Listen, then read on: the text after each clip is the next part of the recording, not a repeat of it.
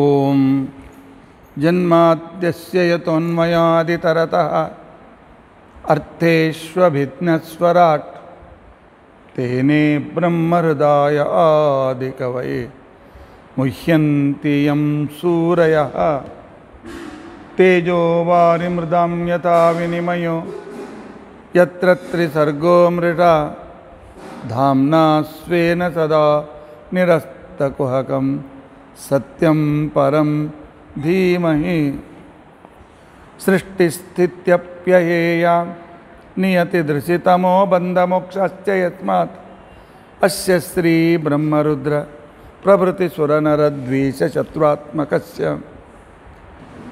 विष्णोर्व्यस्ताः समस्ताः सकलगुणनिधिः सर्वदोषव्यपेतः।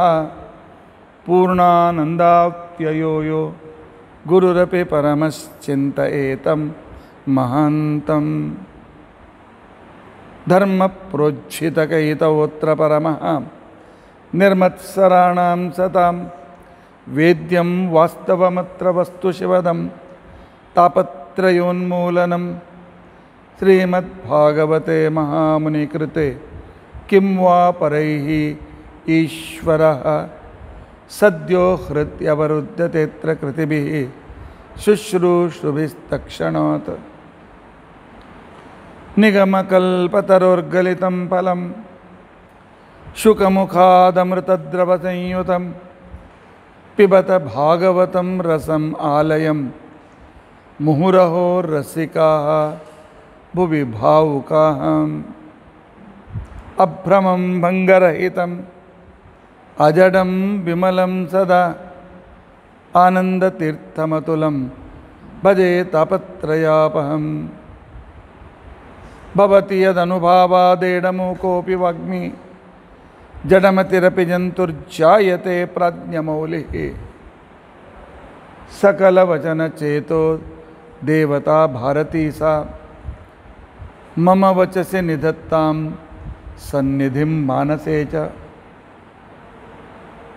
अस्मत्कुरुसमारम्भां टीकाकृत्पादमध्यगां श्रीमदाचार्यपर्यन्तां वन्दे गुरुपरम्पराम्।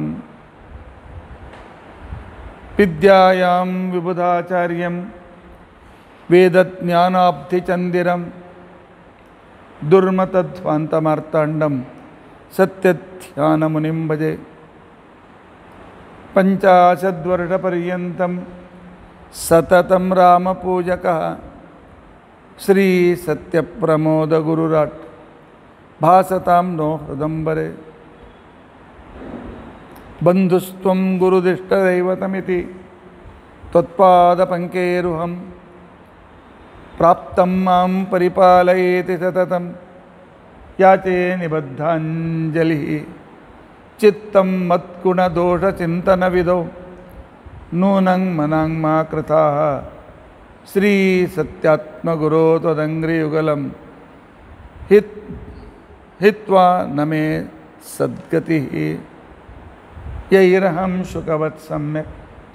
शिक्षितोऽस्मि कृपालुभिः। तान् वंदे धेनुपाचार्यान् तत्त्वज्ञानार्थसिद्धये। श्रीगुरुभ्यो नमः। हरिः ॐ हरिः ॐ हरिः ॐ स्वस्तिस्तु असेढसन्मङ्गलानि सन्तु श्लोकैकश्रवणपठनमात्रेण वक्तुश्च श्रोतॄणां निखिलकलिकृतकल्मषापनोदनपटुतरे धर्माद्यखिलपुरुषार्थसाधनीभूते अद्य श्रीमद्भागवते द्वादशस्कन्दान्तर्गतकथाप्रारम्भे सति तन्मध्ये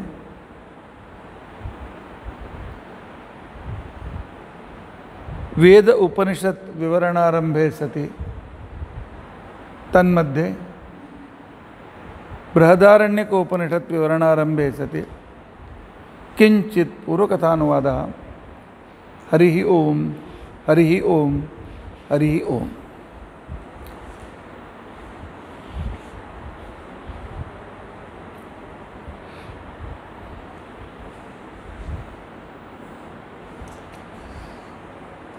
ನಿನ್ನಿನವರೆಗೂ ಸುಷುಪ್ತಿ ಪ್ರೇರಕನು ಪರಮಾತ್ಮ, ಮುಕ್ತರ ಪ್ರೇರಕನು ಪರಮಾತ್ಮ ಅಂತ ಹೇಳಿ ಮುಕ್ತರು ಒಂದೇ, ದೇವರು ಒಂದೇ ಅಂತಕ್ಕಂಥ ಮತಗಳನ್ನು ಅಲ್ಲೆಗಳೆಯುತ್ತಾ ಜೀವಬ್ರಹ್ಮರು ಯಾವುದೇ ಪ್ರಸಂಗದಲ್ಲಿ ಒಂದಾಗಲಿಕ್ಕೆ ಸಾಧ್ಯವಿಲ್ಲ. ಜ್ಯೋತಿಯಲ್ಲಿ ಇರಬಹುದು. ಮುಕ್ತಿಯಲ್ಲಿ ಸ್ವಲ್ಪ ಕಿಂಚಿತ್ ಸಾದೃಶ್ಯ ಪಡೆಯಬಹುದು ಆದರೆ ದೇವರಾಗಲಿಕ್ಕೆ ಸಾಧ್ಯವಿಲ್ಲ. ಅಸಂಖ್ಯ ಪ್ರಮಾಣಗಳು ಇರುವುದರಿಂದ ಪರಮಾತ್ಮ ಸತ್ಯವಾದ ಜಗತ್ತನ್ನೇ ಸೃಷ್ಟಿ ಮಾಡ್ತಾನೆ. ಒಂದು ಅನುಭವ, ಎರಡನೇದ್ದು ಪ್ರಮಾಣಗಳು, ಮೂರನೇದ್ದು ಯುಕ್ತಿ. ಈ ಮೂರರೂ ಇದ್ದದರಿಂದಾಗಿ ಜಗತ್ತು ಸತ್ಯ ಜೀವಬ್ರಹ್ಮರ ಐಕ್ಯ ಸಾಧ್ಯವಿಲ್ಲ. ಪರಮಾತ್ಮ ಸಂಪೂರ್ಣ ಜಗತ್ತಿಗೆ ಸ್ವಾಮಿ ಸರ್ವಜ್ಞ ಸರ್ವೋತ್ತಮ, ಜೀವ ಅವನ ಸೇವಕ, ಅವನ ಅಧೀನದಲ್ಲಿದ್ದು ಅವನ ಪ್ರೇರಣೆಯಿಂದ ತಾನು ತನ್ನ ಸಿದ್ಧಿಯನ್ನು, ತನ್ನ ಸಾಧ್ಯವನ್ನು ಸಾಧಿಸ್ತಕ್ಕಂಥ ವ್ಯಕ್ತಿ. ಇತ್ಯಾದಿ ಅನೇಕ ವಿಷಯಗಳನ್ನು ಆ ಉಪನಿಷತ್ ಮಂತ್ರದಲ್ಲಿ ಅವರು ಟ್ವಿಸ್ಟ್ ಮಾಡಿ ಹೇಳ್ತಕ್ಕಂಥ ಅರ್ಥವು ಹೇಗೆ ತಪ್ಪು, ಅದಕ್ಕೆ ಇರ್ತಕ್ಕಂಥ ಪ್ರಮಾಣಗಳೇನು, ಅದಕ್ಕೆ ವ್ಯಾಕರಣ, ಶಬ್ದಶಾಸ್ತ್ರದ ನಿಯಮವೇನು? ಈ ಒಂದು ವಾರದಲ್ಲಿ ನೀವು ಕೇಳಿದ ವಿಷಯ ಕಠಿಣವೂ ಹೌದು, ಅತಿ ಮಹತ್ವಪೂರ್ಣವೂ ಹೌದು. ಇಲ್ಲದೇ ಇದ್ದರೆ ಅವರು ಹೇಳುವಂತೆ ಜೀವಬ್ರಹ್ಮರು ಒಂದೇ ಜಗತ್ತು ಸುಳ್ಳು ಅಂತಕೊಂಡಂತಂದರೆ ಮತ್ತು ಉಪನಿಷತ್ತು ಆಗಬೇಕು. ಅಂಥ ಒಂದು ಅಸಂಭವ ವಿಚಿತ್ರವಾಗಿರ್ತಕ್ಕಂತಹ ಪರಿಸ್ಥಿತಿ. ಹಾಗೆ ಬಹಳ ಮಹತ್ವಪೂರ್ಣ ವಿಷಯ. ನನಗೆ ಗೊತ್ತಿದೆ. ಪ್ರವಚನಕಾರರಿಗೆ ಶ್ರೋತೃಗಳು ಇಲ್ಲಿ ಹೆಚ್ಚಿನ ಜನರು ವಯಸ್ಸಾದವರಿದ್ದೀರಿ. ಇನ್ನು ಹೆಚ್ಚಿನ ಜನರು ಶಾಸ್ತ್ರ ಓದದೇ ಇರತಕ್ಕಂತಹ ಸಾಮಾನ್ಯ ಶ್ರೋತೃಗಳಿದ್ದೀರಿ. ಈ ಶಾಸ್ತ್ರೀಯ ವಿಷಯ ಈ ಶಬ್ದ ಇಲ್ಲಿ ಯಾಕೆ ಇದು ಇಡಬಾರ್ದಾಗಿತ್ತು. ಈ ಶಬ್ದ ವ್ಯರ್ಥ. ಇವು ರುಚಿಸೋದಿಲ್ಲ. ಆದರೆ ನಾನು ಆದರೂ ಹೇಳಿದೆ. ನೀವು ಆದರೂ ಕೇಳಿದ್ದೀರಿ. ಲೈಕ್ಸ್ ಕಡಿಮೆ ಮಾಡಿದ್ದೀರಿ, ಪರವಾಗಿಲ್ಲ. ಆದರೆ ಕೇಳಿದ್ದೀರಿ. ಪುಣ್ಯ ಅಂತೂ ಬಂದಿದೆ. ಅದರ ಜೊತೆಯಲ್ಲಿ ಶ್ರೀಮದಾಚಾರ್ಯರ ಗ್ರಂಥ ಸುಮ್ಮನೆ ಬಾಯಿಗೆ ಬಂದಂತೆ ಬರೆದಿಲ್ಲ. ಅಸಂಖ್ಯ ಪ್ರಮಾಣಗಳನ್ನು ಕೊಟ್ಟು, ಅಸಂಖ್ಯ ಯುಕ್ತಿಗಳನ್ನು ಕೊಟ್ಟು ಇದಮಿತ್ತಮ್ ಅಂತ ತಿಳ್ಕೊಂಡಂತೇಳಿ ಸಾಧಿಸುವ ಎದೆಗಾರಿಕೆ ಶ್ರೀಮದಾಚಾರ್ಯರಿಗೆ ಮಾತ್ರ. ಇಷ್ಟು ಹೇಳಿ ಯಾಜ್ಞವಲ್ಕರು ಹೇಳ್ತಾರೆ ಜನಕರಾಜ ಪರಮಾತ್ಮ ಸರ್ವೋತ್ತಮ. ಅವನ ಅನುಗ್ರಹದಿಂದ ಪಡೆಯಬೇಕಾಗಿರ್ತಕ್ಕಂಥ ಮುಕ್ತಿ ಇದು ನಮ್ಮ ಜೀವನದ ಉದ್ದೇಶ. ಅಂತ ಹೇಳಿದಾಗ ಆ ಕಾಲದಲ್ಲಿ ಜನಕರಾಜ ಪ್ರಶ್ನೆ ಮಾಡ್ತಾನೆ, ಮುಕ್ತಿ ಅಂದರೆ ಸ್ವರೂಪ ಸುಖ. ಜೀವರೆಲ್ಲರೂ ಸಮಾನರು, ಜೀವ ಶಬ್ದದಿಂದ ಸಮಾನರು. ಮುಕ್ತಿಗೆ ಹೋದಾಗ ತಮ್ಮ ಸ್ವರೂಪ ಸುಖ, ಎಲ್ಲರೂ ಸಮಾನ ಸುಖ ಅನುಭವಿಸ್ಬೋದಲ್ಲ? ಪರಮಾತ್ಮನಷ್ಟೇ ಸುಖ ಯಾಕೆ ಅನುಭವಿಸಬಾರ್ದು? ಯಾಜ್ಞವಲ್ಕರ್ ಹೇಳ್ತಾರೆ ಇಲ್ಲಪ್ಪ.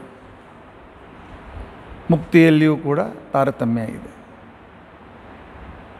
ಆನಂದದಲ್ಲಿ ಸಾಕಷ್ಟು ಅಂತರ ಇದೆ. ಅವರವರ ಸಾಧನ. ಇಲ್ಲ, ಇದು ಭೇದ ಭಾವವಾಯ್ತಲ್ಲ ಇದು ಪರ್ಸಾಲಿಟಿ ಆಯ್ತಲ್ಲ. ಭೇದ ಭಾವವೂ ಆಗಿಲ್ಲ ಪಾರ್ಸಾಲಿಟಿನೂ ಆಗಿಲ್ಲ. ಈಗ ಒಂದು ತಾಸು ಅಭ್ಯಾಸ ಮಾಡಿದವನಿಗೂ ಅಷ್ಟೇ ಸ ಅಷ್ಟ್- ರೀತಿಯಾದಂತಹ ಮಾರ್ಕ್ಸು. ಜಿ, ಇಪ್ಪತ್ನಾಲ್ಕು ತಾಸು ಅಭ್ಯಾಸ ಮಾಡ್ತಕ್ಕಂಥವನು ಅಷ್ಟೇ ಮಾರ್ಕ್ಸ್ ಅಂತಂದರೆ ಅದು ಡಿಸ್ಕ್ರಿಮಿನೇಷನ್ ಆಗ್ತದೆ. ಪರಮಾತ್ಮ ಡಿಸ್ಕ್ರಿಮಿನೇಷನ್ ಮಾಡೋದಿಲ್ಲ. ಯಾರ ಮೇಲೆ ಪಾರ್ಸಾಲಿಟಿ ತೋರಿಸೋದಿಲ್ಲ. ಯಾರ ಸಾಧನೆ ಎಷ್ಟು, ಆ ಪ್ರಕಾರ ಆನಂದ. ಯಾರ ಸಾಧನೆ ಹೆಚ್ಚು, ಹೆಚ್ಚಿನ ಆನಂದ. ಯಾರ ಸಾಧನೆ ಕಡಿಮೆ ಕಡಿಮೆ ಆನಂದ. ಅದಕ್ಕೋಸ್ಕರ ಉಪನಿಷತ್ತು ನಲ್ಲಿ ಯಾಜ್ಞವಲ್ಕರು ಜನಕರಾಜನಿಗೆ ಹೇಳ್ತಾರೆ. ನೋಡಪ್ಪ. ಮನುಷ್ಯ ಮನುಷ್ಯೋತ್ತಮರ ಆನಂದ ಅಂತಿಕೊಂಡಂತೇನಿದೆ. ಅವರಕ್ಕಿಂತ ನೂರು ಪಟ್ಟು ಆನಂದ ಮನುಷ್ಯ ಚಕ್ರವರ್ತಿಗಳಿಗೆ ಇರ್ತದೆ. ಮುಕ್ತರಾದ ಮನುಷ್ಯರಿಗೆ ಮನುಷ್ಯೋತ್ತಮರ ಆನಂದಕ್ಕಿಂತಲೂ ಮುಕ್ತನಾಗಿರ್ತಕ್ಕಂತಹ ಮನುಷ್ಯ ಶಕ್ತಿಯ ಆನಂದ ಸರ್ವಶ್ರೇಷ್ಠವಾಗಿರ್ತಕ್ಕಂಥದ್ದು. ಅವನು ಮುಕ್ತನಾಗುವಕ್ಕಿಂತ ಮೊದಲು ಉಳಿದವರಿಗೆ, ತನಕ್ಕಿಂತ ಕೆಳಗಿನವರಿಗೆ ಅಧಿಪತಿಯಾಗಿರ್ತಾನೆ. ಆನಂತರ ಉಪದೇಶ ಮಾಡಿರ್ತಾನೆ. ಆನಂತರ ಅಪರೋಕ್ಷ ಜ್ಞಾನ ಆದ ನಂತರ ಅನೇಕ ಕರ್ಮಗಳನ್ನು ಮಾಡಿರ್ತಾನೆ. ಅದೆಲ್ಲ ಸೇರಿ ಅವನಿಗೆ ಆನಂದದ ಅಭಿವ್ಯಕ್ತಿ ಏನಾಗ್ತದೆ? ಅದು ಮನುಷ್ಯೋತ್ತಮನಿಗಿಂತ ನೂರು ಪಟ್ಟು ಹೆಚ್ಚು ಇರ್ತದೆ ಚಕ್ರವರ್ತಿಯ ಪರಮಾವಧಿ ಆನಂದ ಅಂತ ತಿಳ್ಕೊಂಡಂತೇನಿದೆ? ಚಕ್ರವರ್ತಿಯ ಪರಮಾವಧಿ ಆನಂದ ಅಂತ ತಿಳ್ಕೊಂಡಂತ ಅನ್ನೋದು ಆ ಆನಂದ. ಮುಕ್ತರಾದ ಪಿತೃಗಳ ಆನಂದವಾಗಿರ್ತದೆ ಮುಕ್ತವಾದ ಪಿತೃಗಳು ತೇ ಏ ಶತಂ ಪಿತॄಣಾಂ ಜಿತಲೋಕಾನಾಂ ಆನಂದ ಪಿತೃಗಳ ಚರಮ ಆನಂದ ಅಂತಿಕೊಂಡಂತೇನಿದೆ. ಅದು ಗಂಧರ್ವದ, ಗಂಧರ್ವ ಲೋಕದಲ್ಲಿದ್ದ ಗಂಧರ್ವರ ಒಂದು ಆನಂದಕ್ಕೆ ಸಮಾನ. ಆರಂಭದ ಆನಂದಕ್ಕೆ ಸಮಾನ.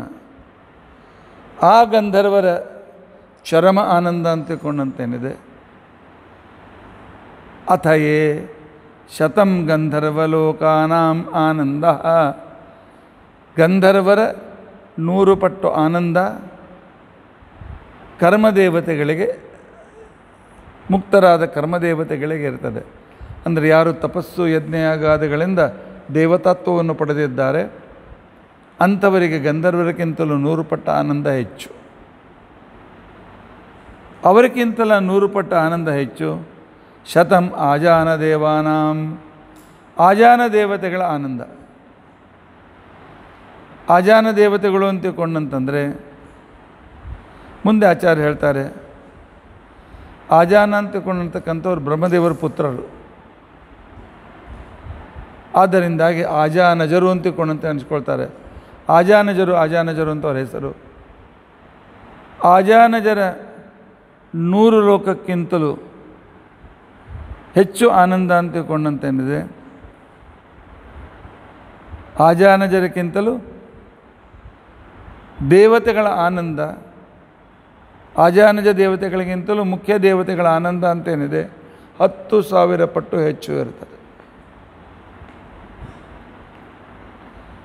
ದೇವತೆಗಳಿಗಿಂತಲೂ ಹತ್ತು ಸಾವಿರ ಪಟ್ಟ ಆನಂದ ಗರುಡ ಶೇಷ ರುದ್ರರಿಗೆ ಇರ್ತದೆ. ಮುಕ್ತ ಶೇಷಗರುಡು. ಮುಕ್ತ ಶೇಷ ಅಂದರೆ ಮುಕ್ತ ರುದ್ರ ಅಂತ ಅರ್ಥ. ರುದ್ರದೇವರೇ ಶೇಷದೇವರಾಗಿ ಆ ನಂತರ ಮುಕ್ತರಾಗ್ತಾರೆ. ಮುಕ್ತ ಶೇಷ ಗರುಡರ ಆನಂದಕ್ಕಿಂತಲೂ ಹತ್ತು ಸಾವಿರ ಪಟ್ಟು ಹೆಚ್ಚು ಆನಂದ. ಇದು ಮುಕ್ತನಾಗಿರ್ತಕ್ಕಂಥ ಬ್ರಹ್ಮದೇವರ ಆನಂದ.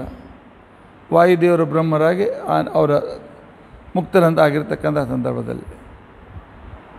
ಈ ಬ್ರಹ್ಮದೇವರ ಆನಂದ ಪರಮಾತ್ಮನ ಅನಂತ ಆನಂದದ ಸಮುದ್ರಕ್ಕಿಂತಲೂ ಮೀರಿದಷ್ಟು ವಿಸ್ತಾರವಾಗಿರ್ತಕ್ಕಂಥ ಆನಂದದ ಒಂದು ಸಣ್ಣ ಅಣು ಅಂಶ ಬ್ರಹ್ಮ ಮುಕ್ತ ಬ್ರಹ್ಮದೇವರ ಆನಂದ ಇರ್ತಾರೆ. ಇನ್ನು ಪರಮಾತ್ಮ, ಇವನು ಪರಿಪೂರ್ಣ. ಇವನಿಗಿಂತ ಮೇಲೆ ಯಾರೂ ಇಲ್ಲ. ಆದ್ದರಿಂದಾಗಿ ಅಪರೋಕ್ಷ ಜ್ಞಾನ ಪಡೆಯಬೇಕಾದ ವ್ಯಕ್ತಿಗೆ ಇವೆಲ್ಲ ತಿಳುವಳಿಕೆ ಇರಬೇಕಾಗ್ತದೆ. ಈ ರೀತಿ ಉಪಾಸನೆ ಇರಬೇಕು.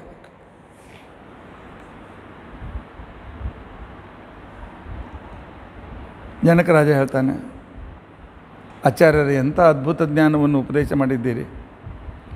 ಇಷ್ಟು ಜ್ಞಾನ ಇಟ್ಟುಕೊಂಡೇ ಸಾಧನ ಮಾಡಿದರೆ ಮುಕ್ತಿ ಆಗ್ತದೆ. ನೀವು ಕೊಟ್ಟ ಪ್ರತಿಯೊಂದು ಹೆಜ್ಜೆಗೂ ಒಂದು ಸಾವಿರ ಆನೆ, ಒಂದು ಸಾವಿರ ಎತ್ತುಗಳನ್ನು ಕೊಡ್ತೇನೆ. ದಾನವಾಗಿ ಕೊಡ್ತೇನೆ. ಅಂದರೆ ಇಲ್ಲಿವರೆಗೂ ಎಷ್ಟೋ ಲಕ್ಷ ಆನೆಗಳಾದು ಎಷ್ಟೋ ಲಕ್ಷ ಗೋಗಳಾದು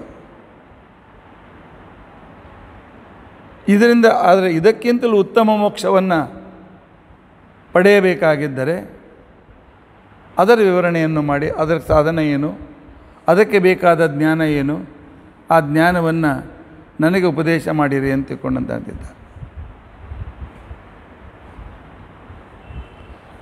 ಇಲ್ಲಿವರೆಗೂ ಆನಂದದಿಂದ ಉಪದೇಶವನ್ನು ಮಾಡ್ತಾ ಇರತಕ್ಕಂಥ ಯಾಜ್ಞವಲ್ಕ್ಯರು ಸ್ವಲ್ಪ ವಿಚಾರಕ್ಕೆ ಒಳಗಾದರು. ಆಶ್ವಲರು ಹೆಚ್ಚಿನ ಪ್ರಶ್ನೆಯನ್ನು ಕೇಳಿ ಗೊತ್ತಿಲ್ಲದೆ ತಲೆಬಿದ್ದು ಹೋಯಿತು. ಅವರಿಗಿಂತಲೂ ಹೆಚ್ಚಿನ ಪ್ರಶ್ನೆ ಹೆಚ್ಚಿನ ವಿಷಯದ ಪ್ರಶ್ನೆ ಪ್ರಶ್ನೆಯನ್ನು ಸ್ವಲ್ಪ ಮನಸ್ಸಿನಲ್ಲಿ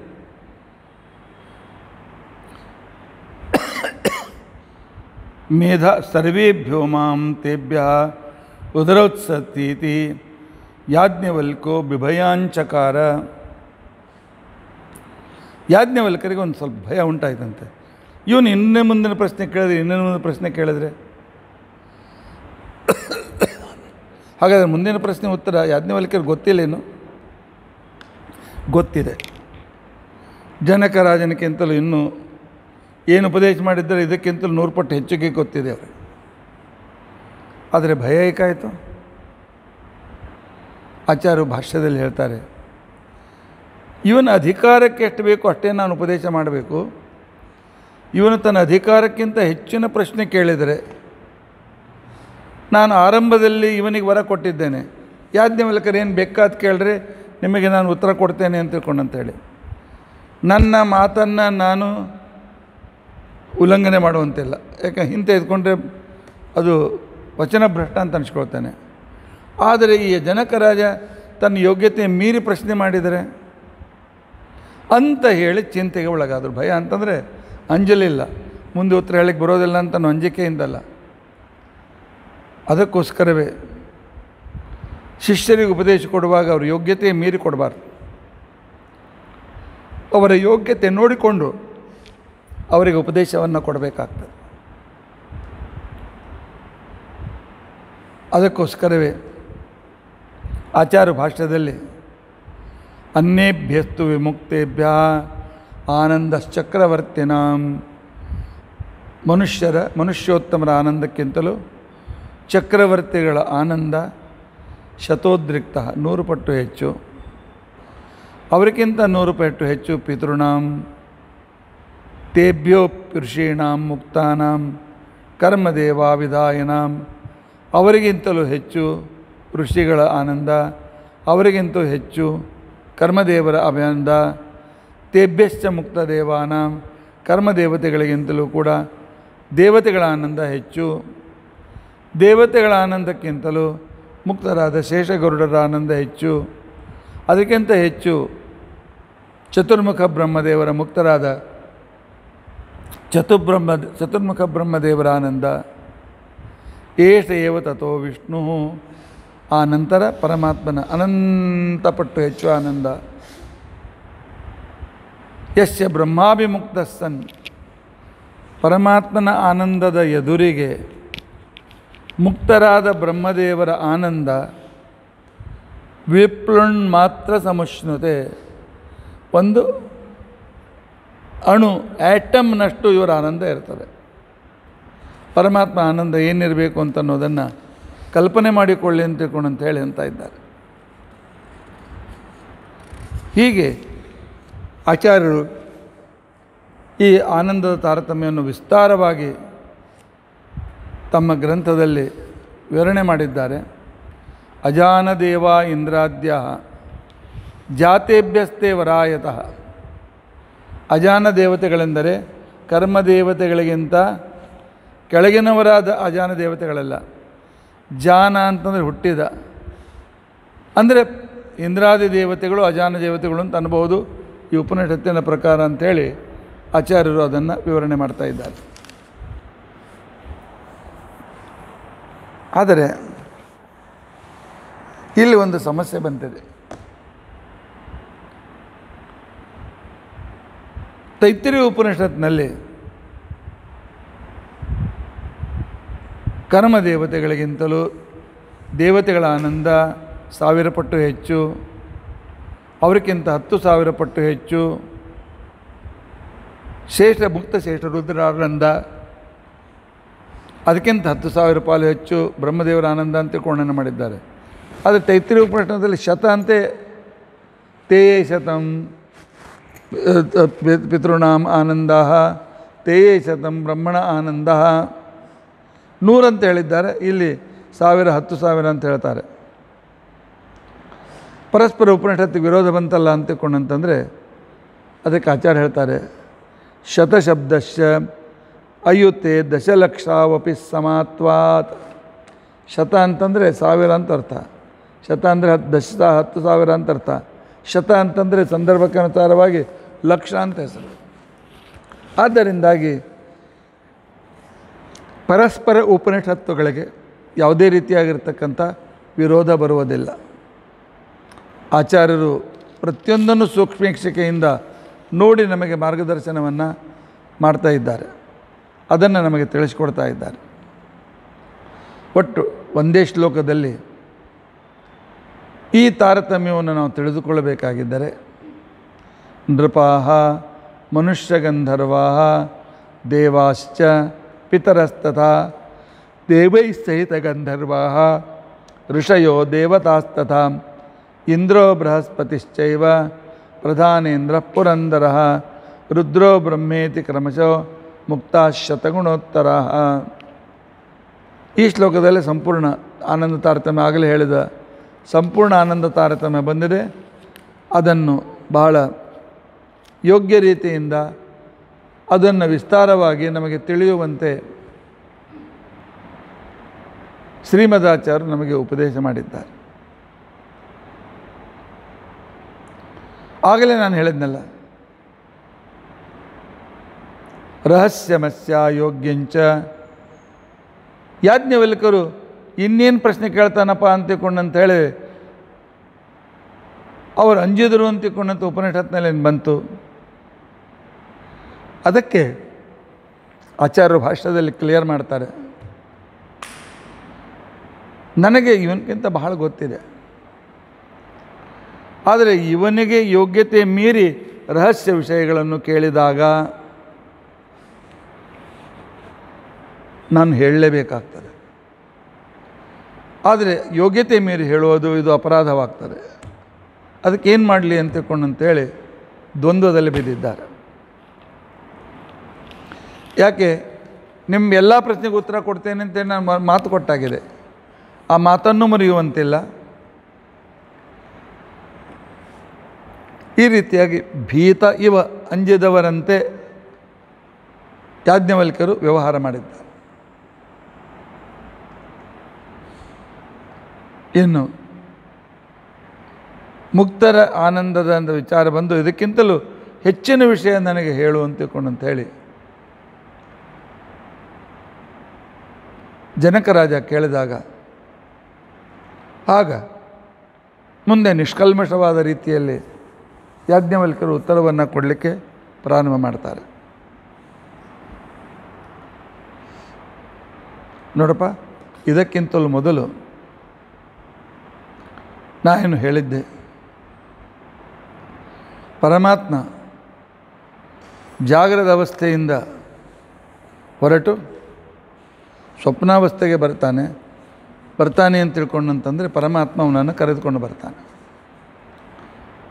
ಪರಮಾತ್ಮನೇ ಸ್ವಪ್ನಾವಸ್ಥೆಯಲ್ಲಿ ಅವನಿಗೆ ಅನೇಕ ಸುಖ, ಕೆಲವು ಸಲ ದುಃಖವನ್ನು ಕೊಟ್ಟು, ಆನಂತರ ಸುಷುಪ್ತಿ ಅವಸ್ಥೆಯಲ್ಲಿ ದೋಷರಹಿತವಾದ, ದುಃಖರಹಿತವಾಗಿರ್ತಕ್ಕಂತಹ ಪರಮಾನಂದವನ್ನು ಅವನಿಗೆ ಕೊಟ್ಟು ಆನಂತರ ಅಲ್ಲಿಂದ ಜೀವನನ್ನು ಎಬ್ಬಿಸುವುದಕ್ಕೋಸ್ಕರ ಮತ್ತೆ ಬಲಗಣ್ಣೆ ಹೋಗ್ತಾನೆ.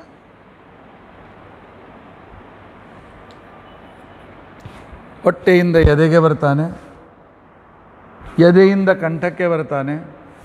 ಸುಷುಪ್ತಿ ಅವಸ್ಥೆ ಕಂಠದಲ್ಲಿ ಇದು ಸ್ವಪ್ನಾವಸ್ಥೆ ಆನಂತರ ಜಾಗೃತ ಅವಸ್ಥೆ ಬಲಗಣ್ಣಿಗೆ ಬರ್ತಾನೆ. ಆದ್ದರಿಂದಾಗಿ ಮೂರೂ ಅವಸ್ಥೆಗಳು ಮನುಷ್ಯನ ಜೀವನದಲ್ಲಿ ಏನು ಜಾಗೃತ್ ಸ್ವಪ್ನ, ಸುಷುಪ್ತಿ ಅವಸ್ಥೆಗಳಿವೆ. ಆ ಎಲ್ಲ ಕಾಲದ ನಿಯಾಮಕನು ಪರಮಾತ್ಮನೇ. ಏನು ಹೇಳ್ತೀರಿ ಎಚ್ಚಾರ ಎಚ್ಚರ ಆದಮೇಲೆ ನಮ್ಮ ಕೆಲಸ ನಾವು ಮಾಡ್ತೀವಲ್ಲ? ಎಚ್ಚರ ಆದ ಮೇಲೆ ನಮಗೆ ಯಾರು ಪ್ರೇರಕರ ಅವಶ್ಯಕತೆ ಬೇಕಾಗಿಲ್ಲ. ಎಚ್ಚರ ಆಗಿರ್ತದೆ, ಶಕ್ತಿ ಇರ್ತದೆ ನಮ್ಮ ಕೆಲಸ ನಾವು ಮಾಡ್ಕೊಳ್ತೇವೆ. ಇಂಥ ಸಂದರ್ಭದಲ್ಲಿ ಪರಮಾತ್ಮ ಯಾಕೆ ಬೇಕು? ಅಂತ ತಿಳ್ಕೊಂಡು ಅಂತ ಹೇಳಿದಾಗ ಜಾಗರದ ಅವಸ್ಥೆ ಪರಮಾತ್ಮ ಕೊಡಲಿಲ್ಲ ಅಂತ ತಿಳ್ಕೊಂಡಂತಂದರೆ ಎಚ್ಚರಗೊಳಿಸ್ಲಿಲ್ಲ ಅಂತ ತಿಳ್ಕೊಂಡಂತಂದರೆ ನಮ್ಮ ಗತಿ ಏನಾಗಬೇಕು? ಯಾಕೆ ಅಂತ ತಿಳ್ಕೊಂಡಂತಂದರೆ ಪ್ರತಿ ದಿವಸದ ನಿದ್ರೆ ಅಂತ ತಿಳ್ಕೊಂಡಂತಂದರೆ ಅವತ್ತಿನ ಮಿನಿ ಡೆತ್. ಮಲಿಕೊಂಡಿದ್ದೇವೆ ಅಂತ ತಿಳ್ಕೊಂಡಂತಂದರೆ ಸಾಮಾನ್ಯ ರೀತಿಯಿಂದ ಮರಣ ಹೊಂದಿದ್ದೇವೆ ಅಂತ ಅರ್ಥ. ಯಾಕೆ? ಯಾವಾಗ ಏನು ಹೊರಗಿಂದ ಗೊತ್ತಾಗೋದಿಲ್ಲ, ಯಾರು ಮಾತನಾಡಿಸಿದ್ದು ಕೇಳೋದಿಲ್ಲ, ಯಾರಿಗೂ ಉತ್ತರ ಕೊಡಲಿಕ್ಕೆ ಆಗೋದಿಲ್ಲ. ಪರಮಾತ್ಮ ಶ್ರೀಹರಿ ಭಗವಂತ ನಮಗೆ ಎಚ್ಚರ ಕೊಡುತ್ತಾನೆ, ಇದು ದೊಡ್ಡ ಉಪಕಾರ ಮಾಡ್ತಾನೆ. ನಮ್ಮ ಕೆಲವು ಶಿ, ವೃದ್ಧ ಶಿಷ್ಯರು ಅಥವಾ ನಮ್ಮ ಪರಿಚಯದವರೊಬ್ಬರು ಕೋಮಾದಲ್ಲಿದ್ದಾಗ ನಾನು ಐ ಸಿ ಎಲ್ಲೂ ಭೇಟಿಯಾದೆ. ಅಲ್ಲಿ ಡಾಕ್ಟರು ಕೂಡ ನನ್ನ ಪರಿಚಯದವರೇ. ಏನು ರೀ ಪರಿಚಯ ನನ್ನ ಇವರನ್ನು ಎಚ್ಚರಕ್ಕೆ ತರಲಿಕ್ಕೆ ಆಗೋದಿಲ್ಲೇನ್ರಿ ಆ ನನ್ನ ಪರಿಚಯ ಡಾಕ್ಟರ್ ಹೇಳಿದ್ರು, ಆಚಾರ್ಯ, ಕೋಮಾದಲ್ಲಿ ಹೋದನ್ ಬಿಡ್ರಿ. ನಿದ್ದೆಯಲ್ಲಿ ಹೋದವನನ್ನು ಕೂಡ ಅವನು ಸ್ವಾಭಾವಿಕವಾಗಿ ಹೇಳ, ನಾವು ಪ್ರಯತ್ನ ಮಾಡಿದರೂ ಕೂಡ ಅವನಿಗೆ ಸ್ವಾಭಾವಿಕವಾಗಿ ಪ್ರವೃತ್ತಿ ಬರದೇ ಹೊರತು ಎಚ್ಚರಿಸ್ಲಿಕ್ಕೆ ಆಗೋದಿಲ್ಲ. ಅಷ್ಟೇ ಇಲ್ಲ, ಗಾಢ ನಿದ್ರೆ ಹತ್ತಿದಾಗ ಗಡಿಬಿಡಿಯಿಂದ ಎಬ್ಸಿದರೆ ಆ ನಂತರ ಅವನಿಗೆ ಹಾರ್ಟ್ ಶೂಟ್ ಆಗಿ ಪ್ರಾಣ ಹೋಗ್ಬೋದು. ಅದಕ್ಕೋಸ್ಕರ ಸ್ವಾಭಾವಿಕ ಎಚ್ಚರ ಬರುವಂತೆ ನಾವು ದಾರಿ ಕಾಯಬೇಕು. ಮಕ್ಕಳು ಗಾಢವಾಗಿ ಮಲ್ಕೊಂಡಿರ್ತಾರೆ. ನಮಗೇನು ಎಬ್ಬಿಸಿ ಸ್ನಾನಕ್ಕೆ ಹಾಕು ಗಡಿಬಿಡಿ ಇರ್ತದೆ. ಡಬ ಡಬ ನೀರು ಹಾಕಿ ಎಡ್ದು ಎಬ್ಬಿಸ್ಲಿಕ್ಕೆ ಹೋಗಬೇಡ್ರಿ. ಯಾಕೆ ಅಂತ ತಿಳ್ಕೊಂಡಂತಂದರೆ ಅದು ಪರಮಾತ್ಮನ ಕೃತಿಗೆ ನಾವು ಅದರಲ್ಲಿ ಕಾರ್ಬಾರ್ ಮಾಡದಂತೆ ಆಗ್ತದೆ. ಆಗ ಗಾಬರಿಯಿಂದ ಬ್ಲಡ್ ಪ್ರೆಷರ್ ಶೂಟ್ ಆಗಿ ಮನುಷ್ಯ ಸತ್ತೋಗೋಕ್ಕೂ ಸಹ ಸಾಧ್ಯತೆ ಕೂಡ ಇದೆ. ಸಾವಕಾಶವಾಗಿ ಎಚ್ಚರ ಬರಬೇಕು ಸ್ವಲ್ಪ ಮೈ ಮೇಲೆ ಕೈ ಆಡಿಸಿ, ಆನಂತರ ಮತ್ತೆ ಪುನಃ ಸ್ವಲ್ಪ ಮುದ್ದು ಮಾಡಿ ಸಣ್ಣ ಮಕ್ಕಳನ್ನು, ಆಮೇಲೆ ಸಾವಕಾಶ ಗೆಬ್ಬಿಸಿ ಅದಕ್ಕೆ ರೀತಿ ಮುದುಕರನ್ನು ಕೂಡ ಹಾಗೆ ರೀತಿಯಾಗಿ ಅವ್ರು ಹೇಳಿದ್ರು, ಕೋಮಾದಿಂದ ಹೊರಗೆ ಬರದೇ ಹೊರತು ನಾವು ಏನೂ ಟ್ರೀಟ್ಮೆಂಟ್ ಮಾಡಲಿಕ್ಕೆ ಆಗೋದಿಲ್ಲ. ನಮ್ಮ ಪರೀಕ್ಷೆ ಪ್ರಕಾರ ಎಲ್ಲ ಫಂಕ್ಷನ್ ಸರಿ ಇದೆ. ಎಚ್ಚರ ಆಗ್ತಾ ಇಲ್ಲ, ಅದು ನಮ್ಮ ಕೈಯಲ್ಲಿಲ್ಲ. ಅತಿ ದೊಡ್ಡ ಸರ್ಜನಿ ಮಾತ್ರ ಮಾತು ನನಗೆ ಹೇಳ್ತಾರೆ ಆದ್ದರಿಂದಾಗಿ ನಮ್ಮ ಜೀವನದಲ್ಲಿರುವ ಪ್ರಮುಖ ಮೂರು ಅವಸ್ಥೆಗಳು, ನಾಲ್ಕನೆಯದಾಗಿರ್ತಕ್ಕಂಥ ಮೂರ್ಛೆ ಮತ್ತು ಸಮಾಧಿ ಅವಸ್ಥೆ, ಅದಕ್ಕೆ ನಂತರದ ಅವಸ್ಥೆಯಾಗಿರ್ತಕ್ಕಂಥ ಮೋಕ್ಷ, ಇವು ಎಲ್ಲದರ ನಿಯಾಮಕ ಪರಮಾತ್ಮ. ಅವನ ಇಚ್ಛೆ ಬಂದರೆ ಇವೆಲ್ಲ ನಡೆಯುತ್ತವೆ, ಇಲ್ಲದೇ ಇದ್ದರೆ ನಡೆಯೋದಿಲ್ಲ. ಸರ್ವದಾ ಜೀವಮಾದಾಯ. ಪರಮಾತ್ಮ ಎಬ್ಬಿಸಬೇಕು ಅಂತ ಹೇಳಿ ಇಚ್ಛೆ ಬಂದರೆ ಆ ಜೀವನನ್ನು ಸುಷುಪ್ತಿ ಅವಸ್ಥೆಯಿಂದ ಹೃದಯದಿಂದ ಕಂಠಕ್ಕೆ ತೆಗೆದುಕೊಂಡು ಬರ್ತಾನೆ. ಕಂಠದಿಂದ ಬಲಗಣ್ಣಿಗೆ ತಂದು ಅವನನ್ನು ಎಬ್ಬಿಸ್ತಾನೆ. ಸ್ವಪ್ನ ತೋರಿಸೋದಿತ್ತು ಅಂತ ತಿಳ್ಕೊಂಡಂತಂದರೆ ಪರಮಾತ್ಮ ಬಲಗಣ್ಣಿನಿಂದ ಹಿಡಿದುಕೊಂಡು ಕಂಠಕ್ಕೆ ಕರೆದುಕೊಂಡು ಬರ್ತಾನೆ. ಅಲ್ಲಿ ಕೂಡಿಸಿ ಅವನಿಗೆ ಸ್ವಪ್ನ ತೋರಿಸ್ತಾನೆ. ಸುಷುಪ್ತಿ ಕೊಡಬೇಕು ಅಂತ ಅವನಿಗೆ ಇಚ್ಛೆ ಇದ್ದಾಗ ಅಲ್ಲಿಂದ ಹೃದಯಕ್ಕೆ ಕರೆದುಕೊಂಡು ಬಂದು ಗಾಢವಾದ ನಿದ್ರೆಯನ್ನು ಕೊಡ್ತಾನೆ. ಜಾಗ್ರದಾದಿಟು ಸಂಯಾಂತಿ ನಾಣ್ಯಥಾತು ಕಥಂಚನ ಏವಂ ನಿಯಮ ವಿಜ್ಞಪ್ತಿ ಜೀವ ಅಸ್ವತ್ ಅಸ್ವಾತಂತ್ರ್ಯ ವಿತ್ತಯೇ ಅಷ್ಟೇ ಅಲ್ಲ, ನಿದ್ದೆಯೂ ನಮ್ಮ ಕೈಯಲ್ಲಿಲ್ಲ, ಜಾಗೃತಿಯೂ ನಮ್ಮ ಕೈಯಲ್ಲಿಲ್ಲ ಇಂಥದೇ ಸ್ವಪ್ನ ಬೀಳಬೇಕು ಅಂತ ಅನ್ನೋದು ಕೂಡ ನಮ್ಮ ಕೈಯಲ್ಲಿಲ್ಲ. ಎಲ್ಲವೂ ಭಗವಂತನ ಕೈಯಲ್ಲಿ. ಎಲ್ಲವೂ ಭಗವಂತನ ಪ್ರೇರಣೆಯಿಂದ ಆಗ್ತದೆ. ಅಂತ ಹೇಳಿ ಇತಿ ನಿರ್ಣಯ. ನಿರ್ಣಯ ಅಂತ ಅನ್ನೋ ಗ್ರಂಥದಲ್ಲಿ ಈ ವಿವರಣೆ ಬಂದಿದೆ ಅಂತ ತಿಳ್ಕೊಂಡು ಅಂತೇಳಿ ಆಚಾರ್ಯರು ನಮಗೆ ತಿಳಿಸ್ತಾರೆ.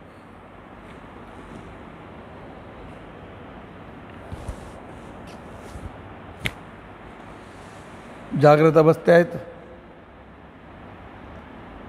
ಆನಂತರ ಸ್ವಪ್ನಾವಸ್ಥೆ ಆಯಿತು, ಸುಷುಪ್ತಿ ಅವಸ್ಥೆ ಆಯಿತು. ಆನಂತರ ಮೂರ್ಛಾವಸ್ಥೆ ಆಯಿತು. ಇನ್ನು ಮರಣಾವಸ್ಥೆ. ನಮಗೆ ಮರಣದ ಅವಸ್ಥೆಯನ್ನು ತಂದುಕೊಡ್ತಕ್ಕಂಥವನು ಭಗವಂತನೇ. ಮರಣದ ಅವಸ್ಥೆ ಇದನ್ನು ಪ್ರತ್ಯೇಕ ಹೇಳಬೇಕು. ನಮಗೆಲ್ಲ ಪ್ರತ್ಯಕ್ಷ ಇದೆಯಲ್ಲ ಮರಣ ಯಾವಾಗ ಬರುತ್ತೆ ಹೇಳಕ್ಕೆ ಬರೋದಿಲ್ಲ. ಇಲ್ಲ. ಮುಕ್ತನಾಗಬೇಕಾದ ವ್ಯಕ್ತಿ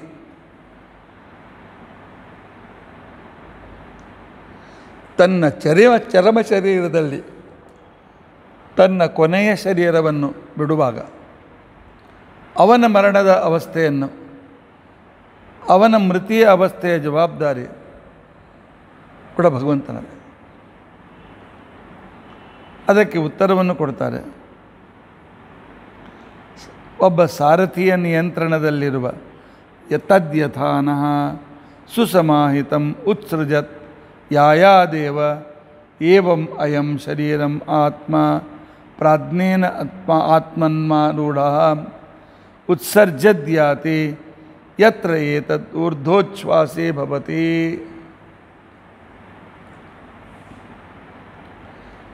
ಮಹತ್ವಪೂರ್ಣವಾದ ವಿಚಾರವನ್ನು ಹೇಳ್ತಾ ಇದ್ದಾರೆ. ಒಂದು ಬಂಡಿಯಲ್ಲಿ ಸಂಚಾರ ಮಾಡ್ತಕ್ಕಂಥ ವ್ಯಕ್ತಿ ಒಂದೊಂದಾಗಿ ಈ ಆ ಗ್ರಾಮವನ್ನು ಬಿಟ್ಟು ಮುಂದೆ ಹೋಗ್ತಾನೆ, ಒಂದು ಈ ಗ್ರಾಮ ಬಿಟ್ಟು ಅದಕ್ಕಿಂತ ಮುಂದೆ ಹೋಗ್ತಾನೆ, ಹೇಗೆ ಒಂದೊಂದು ಗ್ರಾಮವನ್ನು ಬಿಟ್ಟು ಮುಂದೆ ಹೋಗ್ತಾನೆ, ಅದೇ ರೀತಿಯಾಗಿ ಯಾವಾಗ ಅವನ ಊರ್ಧ್ವಶ್ವಾಸ ಪ್ರಾರಂಭವಾಗ್ತದೆ. ಆಗ ಭಗವಂತನ ಅಧೀನನಲ್ಲಿದ್ದ ಆ ಜೀವ ಪರಮಾತ್ಮನ ಪ್ರೇರಣೆಯಿಂದ ಈ ಶರೀರ ಬಿಟ್ಟು ಹೊರಡ್ತಾನೆ. ಮುಗಿತು ಈ ಊರಿನಲ್ಲಿರ್ತಕ್ಕಂಥ ನನ್ನ ಋಣಾನ ಬಂದ ಮುಗಿದಿದೆ. ಮುಂದಿನ ಊರಿಗೆ, ಮುಂದಿನ ಜನ್ಮಕ್ಕೆ ನಾನು ಹೋಗಬೇಕು. ಋಣಾನ ಬಂದ ಮುಗಿದ ಎರಡನೇ ಕ್ಷಣಕ್ಕೆ ಪರಮಾತ್ಮ ನಮ್ಮನ್ನು ಈ ದೇಹದಲ್ಲಿ ಇಡೋದಿಲ್ಲ. ಹೀಗಾಗಿ ಮರಣವೂ ಕೂಡ ಭಗವಂತನ ಅಧೀನವಾಗಿದೆ. ಯಥಾಗ್ರಾಮಂ ಪರಿತ್ಯಜ್ಯ ಯಾತ್ಯನಃ ಸುಮದಷ್ಟಿತ ಒಂದೊಂದು ಊರನ್ನು ಬಿಟ್ಟು ಗಾಡಿ ಮುಂದೆ ಹೋಗುವಂತೆ ಈ ದೇಹವನ್ನು ಕೂಡ ಬಿಟ್ಟು ಪರಿತ್ಯಜ್ಯ ವಿಷ್ಣುನಾಧಿಷ್ಠಿತ ಪುಮಾನ್.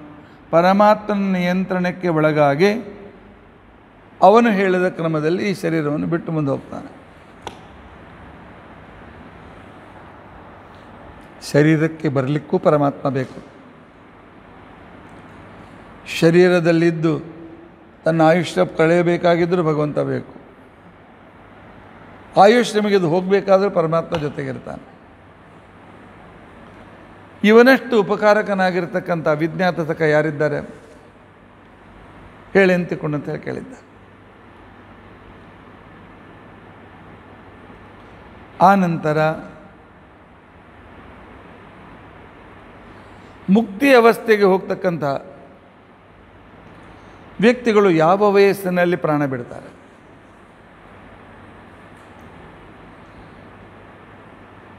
ಯಾವ ಸಂದರ್ಭದಲ್ಲಿ ಅವರಿಗೆ ಪ್ರಾಣೋತ್ಕ್ರಮಣ ಆಗ್ತದೆ.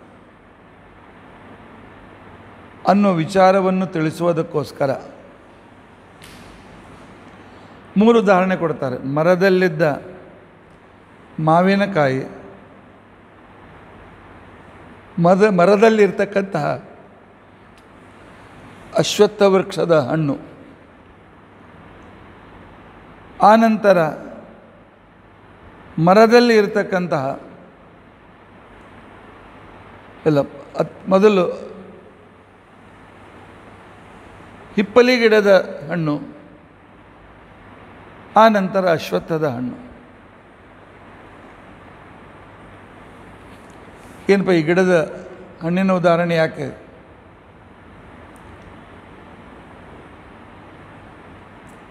ಕಲಿಯುಗದ ಜನರು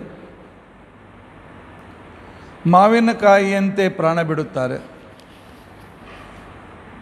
ದ್ವಾಪರ ಯುಗದ ಜನರು. ಆ ಕಾಲದಲ್ಲಿ ಆ ಹತ್ತಿ ಗಿಡದ ಬಲಿತ ಹತ್ತಿಕಾಯಿಯಂತೆ ಪ್ರಾಣ ಬಿಡ್ತಾರೆ.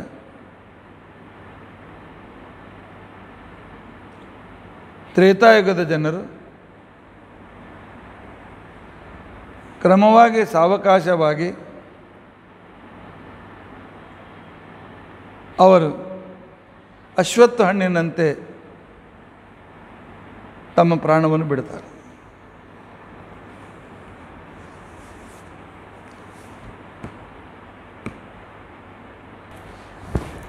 ಏನಿದು ಉಪನಿಷತ್ತು ವಿಚಿತ್ರ ಹೇಳ್ತಾರೆ ಯದ್ ಯಥಾ ಆಮ್ರಂ. ಕಲಿಯುಗದ ಜನರು ಮಾವಿನ ಹಣ್ಣಿನಂತೆ, ಮಾವಿನ ಗಿಡದ ಕಾಯಿಯಂತೆ ಪ್ರಾಣ ಬಿಡ್ತಾರಂತೆ. ಆನಂತರ ದ್ವಾಪರ ಯುಗದವರು ಪಿಂಪಳ ಅಂದರೆ ಹಿಪ್ಪಲಿ ವೃಕ್ಷದ ಅತ್ತಿಕಾಯಿ ಅಂತೆ ಪ್ರಾಣ ಬಿಡ್ತಾರಂತೆ ಆನಂತರ ತ್ರೇತ ತ್ರೇತಾಯುಗದ ಜನರು, ಅವರು ಅಶ್ವತ್ಥ ವೃಕ್ಷದ ಹಣ್ಣಿನಂತೆ ಪ್ರಾಣ ಬಿಡ್ತಾರಂತೆ. ಇಲ್ಲ. ಕಲಿಯುಗದವರು ಮಾವಿನಕಾಯಿಯಂತೆ, ದ್ವಾಪರ ತ್ರೇತಾಯುಗದವರು ಅತ್ತಿ ಹಣ್ಣಿನಂತೆ ಆನಂತರ ಕೃತಿಯುಗದವರು ಅಶ್ವತ್ಥ ವೃಕ್ಷದ ಕಾಯಿಯಂತೆ.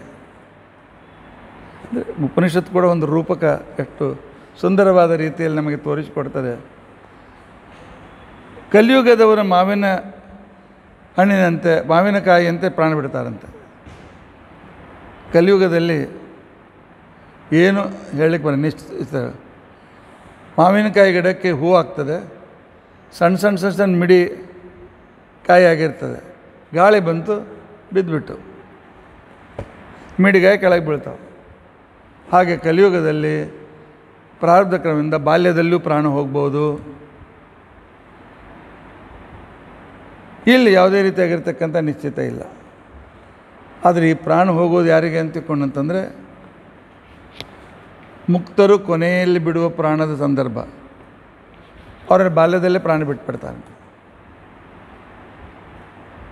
ಹತ್ತಿ ಗಿಡ ಏನಾಗ್ತದೆ ಅಂತ ತಿಳ್ಕೊಂಡಂತಂದರೆ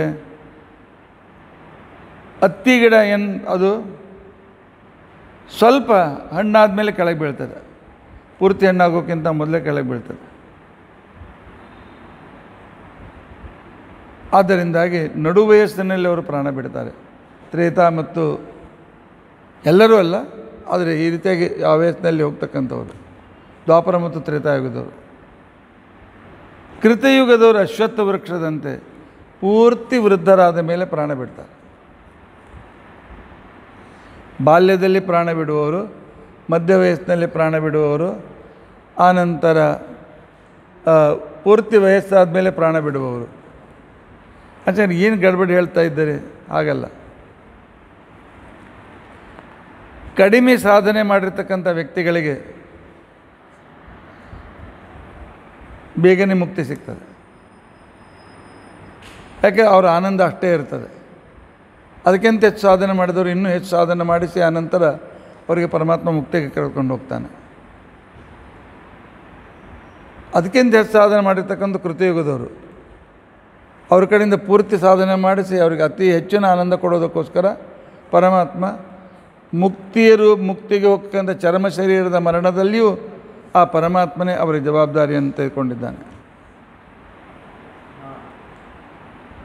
ಇಲ್ಲಿ ಅಣಿಮಾನಂ ಅಂತ ತಂದಿದ್ದಾರೆ. ಪರಮಾತ್ಮ ಯಹ ಏಷ ಅಣಿಮ ಅಂತಂದರೆ ಈ ಮರಣಕ್ಕೂ ಕೂಡ ನಿಯಾಮಕನಾಗಿರ್ತಕ್ಕಂಥವನು ಪರಮಾತ್ಮ. ಇದನ್ನೇ ಪದ್ಮಪುರಾಣದ ಉದಾಹರಣೆಯನ್ನು ಕೊಟ್ಟು ಆಚಾರ್ಯರು ನಮಗೆ ತಿಳಿಸ್ತಾರೆ, ಆಮ್ರಂ ಬಾಲ್ಯೇಪಿ ಪತತಿ. ಮಿಡಿಗ ಇದ್ದಾಗಲೇ ಆ ಕಾಲದಲ್ಲಿ ಮಾವಿನಕಾಯಿ ಬಿಡುತ್ತದೆ ಹೀಗಾಗಿ ಬಾಲ್ಯದಲ್ಲಿಯೂ ಕಲಿಯುಗದಲ್ಲಿ ಪ್ರಾಣ ಬಿಡಬಹುದು ಯಾವುದು ಸ್ಥಿರ ಹೇಳಲಿಕ್ಕಾಗೋದಿಲ್ಲ. ಪರಿಣಾಮೆ ಹುದುಂಬರಂ ಹಣ್ಣು ಆಗ್ತಾ ಆಗ್ತಾ ಇರುವಾಗ ಔದುಂಬರದ ಹಣ್ಣು ಬಿದ್ದು ಹೋಗಿಬಿಡ್ತದೆ ಹತ್ತಿಕಾಯಿ ಬೀಳ್ತದೆ. ಪೂರ್ತಿ ಹಣ್ಣಾಗೋರಿಗೆ ಅಶ್ವತ್ಥ ಗಿಡ ಬಿಟ್ಟು ಕೆಳಗೆ ಬರೋಂಗೇ ಇಲ್ಲದು. ಹೀಗಾಗಿ ಕಲಿಯುಗ ದ್ವಾಪರ ತ್ರೇತಾಯುಗ ಕೃತಯುಗದಲ್ಲಿ ಈ ರೀತಿಯಾಗಿ ಪರಮಾತ್ಮನ ಅಧೀನರಾಗಿ ಮುಕ್ತಿ ಹೋಗ್ತಕ್ಕಂಥವರು ಪ್ರಾಣವನ್ನು ಬಿಡ್ತಾರೆ. ಪ್ರಾಣವನ್ನು ಬಿಡ್ತಕ್ಕಂಥ ವ್ಯಕ್ತಿಗಳು ಯತ್ರ ಅಣಿಮಾನಂ ನೀತಿ ತದ್ಯಥಾ ಆಮ್ರಂ ವಾ ಔದುಂಬರಂ ವಾ ಪಿಪ್ಪಲಂ ವಾ ಬಂಧನಾತ್ ಪ್ರಮುಚ್ಯತೆ. ಈ ರೀತಿಯಾಗಿ ಅವರು ತಮ್ಮ ಸಂಸಾರದ ಬಂಧನದಿಂದ ಮುಕ್ತರಾಗ್ತಾರೆ. ಏಭ್ಯೋ ಏಗೇಭ್ಯ ಸಂಪ್ರಮುಚ್ಚ ಆನಂತರ ಪ್ರಾಣಾಯೈವ ಪ್ರತಿಯೋನ್ಯ ದ್ರವತಿ ಪ್ರಾಣಾಯೈವ. ಇನ್ನು ಮುಕ್ತರು ಪರಮಾತ್ಮನ ಹತ್ರ ಹೋಗಬೇಕಾಗಿದ್ದರೆ ಶರೀರ ಬಿಟ್ಟು ಡೈರೆಕ್ಟ್ ಹೋಗ್ಲಿಕ್ಕಾಗೋದಿಲ್ಲ. ಅವರು ಮೊದಲು ಅಚ್ ಅರ್ಚರಾದಿ ಮಾರ್ಗದಿಂದ, ಸುವರ್ಣ ಮಾರ್ಗ ಶೇಷಮಾರ್ಗ ಅರ್ಚರಾದಿ ಮಾರ್ಗದಿಂದ ವಾಯುದೇವರ ಹತ್ರ ಹೋಗ್ಬೇಕು. ಮುಂದೆ ಕರ್ಕೊಂಡು ಹೋಗ್ತಕ್ಕಂಥವ್ರು ವಾಯುದೇವರು. ಆದ್ದರಿಂದ ವಾಯುದೇವರ ಹತ್ರ ಹೋಗಬೇಕು ಅಂತ ತಿಳ್ಕೊಂಡಂದಿದ್ದಾರೆ ವಾಯುಮೇವಾ ದ್ರವ್ಯತ್ಯೇಷ ಜೀವೋ ಮೋಕ್ಷಾಯ ತತ್ವವಿತ. ತದನುಜ್ಞೆಯೈವ ಜ್ಞಾನಿತ್ವಂ ಅತಸ್ಥಂ ಪುನರಾವ್ರಜತ್ ಯಾಕಂದರೆ ವಾಯುದೇವರ ಅನುಗ್ರಹ ಆಗದೆ ಹೊರತು ನಮಗೆ ಅಪರೋಕ್ಷ ಜ್ಞಾನವೂ ಕೂಡ ಆಗೋದಿಲ್ಲ. ವಾಯುದೇವರ ಅನುಗ್ರಹದಿಂದ ಅವರಿಗೆ ಅಪರೋಕ್ಷ ಜ್ಞಾನ ಪ್ರಾಪ್ತವಾದ್ದರಿಂದಾಗಿ ಅವರು ಮೊದಲು ವಾಯುದೇವರ ಹತ್ರ ಹೋಗ್ತಾರೆ, ತಮ್ಮ ಕೃತಜ್ಞತೆಯನ್ನು ವ್ಯಕ್ತಪಡಿಸೋದಕ್ಕೋಸ್ಕರ ಆನಂತರ ವಾಯುದೇವರು ಅವರನ್ನು ಭಗವಂತನ ಹತ್ರ ಕರೆದುಕೊಂಡು ಹೋಗ್ತಾರೆ. ಹೀಗೆ ವಾಯುದೇವರ ಮಹಿಮೆಯೂ ಕೂಡ ವಿಶೇಷವಾದ ರೀತಿಯಲ್ಲಿ ಇದೆ. ಆಯಿತು. ಇವರು ದೇಹ ಬಿಟ್ಟರು ಆನಂತರ ತಮಗಿಂತ ಉತ್ತಮ ದೇವತೆಗಳ ಶರೀರದಲ್ಲಿ ಸೇರಿಕೊಂಡು ಮುಂದೆ ಹೋಗಬೇಕು. ಕೆಲವರು ಅರ್ಚರಾದಿ ಮಾರ್ಗದಿಂದ ಹೋಗ್ತಾರೆ, ಕೆಲವರು ಪಿತೃ ಮಾರ್ಗದಿಂದ ಹೋಗ್ತಾರೆ. ಅರ್ಚಿ ಮಾರ್ಗದಿಂದ ಮಾರ್ಗದಿಂದ ಯಾವಾಗ ಹೋಗ್ತಾರೆ? ಅರ್ಚರಾದಿ ಮಾರ್ಗದಿಂದ ಹೋಗ್ತಕ್ಕಂಥ ಸಂದರ್ಭದಲ್ಲಿ ಅವರಿಗೆ ಪ್ರತಿಯೊಂದು ದಾರಿಯಲ್ಲಿ ರಾಜನ ಉಪಚಾರ ಸಿಕ್ಕ, ರಾಜೋಪಚಾರ ಸಿಗ್ತಾರೆ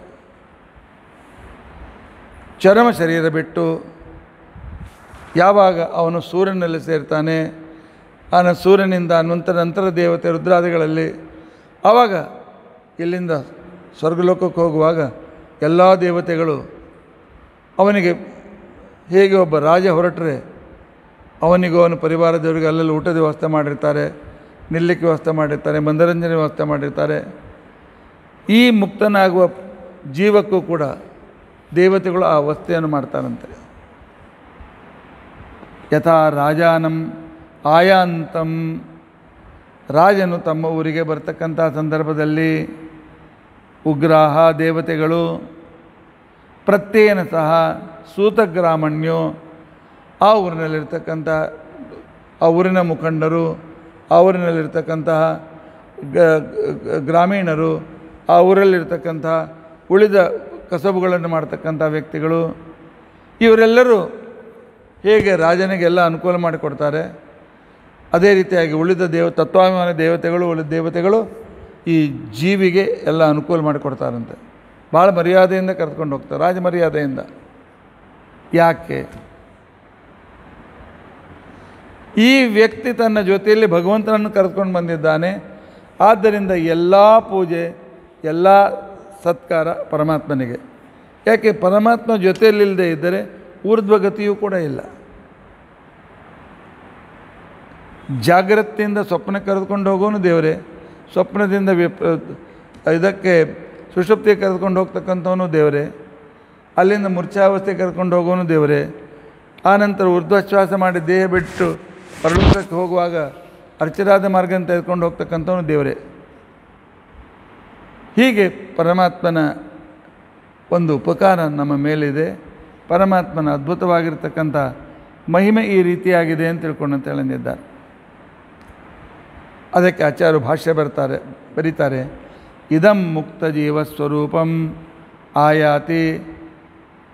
ಈ ಮುಕ್ತನಾಗಿರ್ತಕ್ಕಂಥವರ ಆ ಮುಕ್ತ ಜೀವ ಅವನು ಸ್ವರೂಪ ಶರೀರದಿಂದ ಈ ಮಾರ್ಗದಿಂದ ದೇವರತ್ತ ಹೊರಟಿದ್ದಾನೆ. ಆದರೆ ಅವನ ಜೊತೆಯಲ್ಲಿ ಅವನ ಸಹಾಯಕನಾಗಿ ಅವಿಜ್ಞಾಸಕ ಪರಮಾತ್ಮ ಇರೋದರಿಂದಾಗಿ ಪರಮಾತ್ಮನಿಗೋಸ್ಕರ ಎಲ್ಲ ದೇವತೆಗಳು ಪೂಜೆ ಮಾಡ್ತಾರೆ.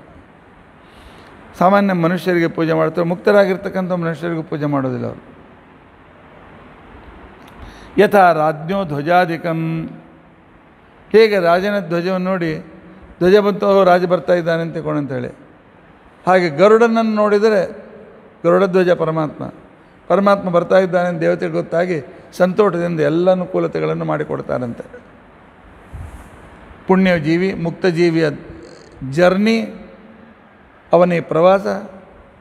ಆಯಾ ದೇವತೆಗಳಿಂದ ಸತ್ಕಾರ ಮಾಡಿಕೊಂಡು ಮುಂದೆ ಹೋಗ್ತಕ್ಕಂಥ ಪ್ರವಾ, ಪ್ರವಾಸ ಆಗಿರ್ತದೆ. ಮುಕ್ತನಿಗೆ ಇಷ್ಟೆಲ್ಲ ಮಾನ ಮರ್ಯಾದೆ ಸಿಗ್ತದೆ ಅಂತ ಆದ್ದರಿಂದಾಗಿ ಪರಮಾತ್ಮನ ಜೊತೆಯಲ್ಲಿ ಈ ಜೀವನಿಗೂ ವಿಶೇಷವಾಗಿರ್ತಕ್ಕಂಥ ಅನುಕೂಲತೆಗಳು ಸಿಗ್ತದೆ ಅಂತ ತಿಳ್ಕೊಂಡಂತಿದ್ದಾರೆ.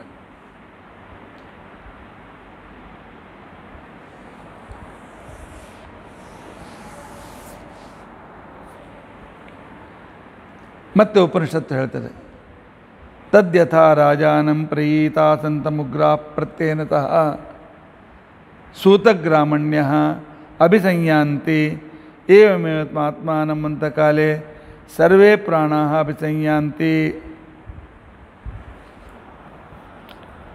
ರಾಜರು ಹೊರಟ ಮೇಲೆ ಅವರ ಹಿಂದೆ ಸೇನಾಪತಿಗಳು ಹೋಗ್ತಾರೆ. ಅವನ ಹಿಂದೆ ಮಾಗದರು ಹೋಗ್ತಾರೆ. ಆ ನಂತರ ಮಂತ್ರಿಗಳು ಹೋಗ್ತಾರೆ. ಹೀಗೆ ಎಲ್ಲರೂ ರಾಜರನ್ನು ಬೆನ್ನಟ್ಟುವಂತೆ ಯಾವಾಗ? ಚರಮ ಶರೀರದಿಂದ ಊರ್ಧ್ವಚ್ಛ್ವಾಸದಿಂದ ಜೀವ ಯಾವಾಗ ಈ ಶರೀರದಿಂದ ಹೊರಗೆ ಬರ್, ಹೊರಡ್ತಾನೆ? ಆಗ ಅವನ ಜೊತೆಗೆ ಭಗವಂತನು ಹೊರಡ್ತಾನೆ. ಭಗವಂತ ರಾಜ ಅಂತ ತಿಳ್ಕೊಂಡಂತ ಹೇಳಿ ಉಳಿದ ತತ್ವಾಭಿಮಾನಿ ದೇವತೆಗಳು, ಇಪ್ಪತ್ನಾಲ್ಕು ತತ್ವದ ದೇವತೆಗಳು ಕೂಡ ಆ ಪರಮಾತ್ಮನ ಹಿಂದೆ ಹೊರಟು ಬಿಡ್ತಾರಂತೆ. ರಾಜನ ಹಿಂದೆ ಸೇವಕರು ಹೊರಟಂತೆ. ಈ ರೀತಿಯಾಗಿ ಉರ್ಧ್ವಶ್ವಾಸದ ವೇಳೆಯಲ್ಲಿ ಅವನು ಪ್ರಾಣ ಬಿಡ್ತಾನೆ ಅನ್ನುವ ವಿಚಾರವನ್ನು ಉಪನಿಷತ್ತು ತಿಳಿಸಿದೆ. ಅಂದರೆ ಮುಕ್ತರಾಗ್ತಕ್ಕಂಥವರ ಚರಮ ಶರೀರದ ಯಾತ್ರೆಯೂ ಕೂಡ ಅದೊಂದು ಅದ್ಭುತವಾಗಿರ್ತಕ್ಕಂಥ ಯಾತ್ರೆಯಾಗಿದೆ ಅಂತ ತಿಳ್ಕೊಂಡಿದ್ದಾರೆ ಜೀವಮಾದಾಯ ಗಚ್ಚಂತಂ. ಜೀವನನ್ನು ಕರೆದುಕೊಂಡು ಹೋಗ್ತಕ್ಕಂಥ ರಾಜನನ್ನು ಪರಮಾತ್ಮನನ್ನು ಉಳಿದ ಎಲ್ಲ ಪಂಚಪ್ರಾಣಾಭಿಮಾನಿಗಳು ಇಂದ್ರಿಯಾಭಿಮಾನಿಗಳು ಎಲ್ಲರೂ ಬೆನ್ನಿಡ್ತಾರೆ. ನೃಪಂ ಪರಿಜನಾಯತ ಅಂತಿಕೊಂಡಂದಿದ್ದಾರೆ. ಆನಂತರ ಉಗ್ರರು ಅಂತಿಕೊಂಡಂತಂದರೆ ಪ್ರಧಾನ ಅಂಗರಕ್ಷಕರು ಪ್ರತ್ಯೇನಸರು ಅಂತಂದರೆ ಯೋಧರು, ಗ್ರಾಮಣಿಗಳು ಅಂತಿಕೊಂಡಂತಂದರೆ ಸೇನಾಪತಿಗಳು. ಅವರಲ್ಲಿ ಎರಡು ರೀತಿಯಾಗಿರ್ತಕ್ಕಂಥ ಕ್ರಮ. ಉಪನಿಷತ್ತಿನ ಶಬ್ದಗಳಿಗೆ ವಿಶಿಷ್ಟವಾದಂಥ ಅರ್ಥವನ್ನು ಆಚಾರ್ಯರು ನಮಗೆ ತೋರಿಸಿಕೊಡ್ತಾ ಇದ್ದಾರೆ. ಹೀಗೆ ಜಾಗ್ರತ್, ಸ್ವಪ್ನ, ಸುಷುಪ್ತಿ, ಮೂರ್ಛ, ಪ್ರಾಣೋತ್ಕ್ರಮಣ ಇದೆಲ್ಲೂ ಕೂಡ ಭಗವಂತನ ಅಧೀನವೇ ಆಗಿದೆ ಅಂತ ತಿಳ್ಕೊಂಡಂತ ಅಂದಿದ್ದಾರೆ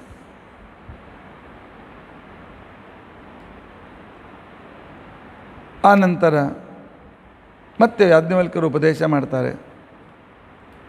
ಸ ಯಾತ್ರಾಯಂ ಅಯಮಾತ್ಮ ಬಲ್ಯಂ ನೇತ್ಯ ಸಮೋಹಮಿವ ನೇತಿ ಅಥೇನಂ ಏತೆ ಪ್ರಾಣ ಅಭಿಸಂಯಾಂತಿ ಸ ಏತಾಹ ತೇಜೋ ಮಾತ್ರ ಸಮಭ್ಯಾದದಾನೋ ಹೃದಯಮೇವ ಅನ್ವಾಕ್ರಾಮತಿ ಸ ಯತ್ರೈಸೆ ಚಾಕ್ಷುಷ ಪುರುಡ ಪರಾಕ್ ಪರ್ಯಾವರ್ತತೆ ಅಥಾರೂಪಜ್ಞೋ ಭವತಿ. ಪ್ರಾಣ ಹೋಗುವಾಗಲೊಂದು ವ್ಯವಸ್ಥೆ ಇದೆ. ಯಾವಾಗ ಈ ಅವನು ಪ್ರಾಣೋತ್ಕ್ರಮಣ ಮಾಡುವ ಜೀವದ ಊರ್ಧ್ವಶ್ವಾಸ ಪ್ರಾರಂಭವಾಗ್ತದೆ. ಡಾಕ್ಟರ್ ಹೇಳ್ತಾರೆ, ಬಹಳ ತೋ ಇರೋದಿಲ್ಲ, ಹೋಗ್ತಾನೆ, ಅಂತ ಕೊನಂತ ಆ ಕಾಲದಲ್ಲಿ ಅವನು ಮೂರ್ಛಾವಸ್ಥೆಯಲ್ಲಿ ಇರುವಾಗ ಅವನ ಶರೀರದಲ್ಲಿದ್ದ ದೇವತೆಗಳು ಅಂತೇನಿದ್ದಾರೆ, ತತ್ವಾಭಿಮಾನಿ ದೇವತೆಗಳು, ಎನ್ ಪ್ರತಿಯೊಂದು ತತ್ವದ ಇಂದ್ರಾದಿ ಸಕಲ ದೇವತೆಗಳು ಅವರೆಲ್ಲರೂ ಭಗವಂತನ ಹತ್ರ ಬರ್ತಾರೆ. ಭಗವಂತನ ಹತ್ರ ಬಂದಿರತಕ್ಕಂಥ ಸಂದರ್ಭದಲ್ಲಿ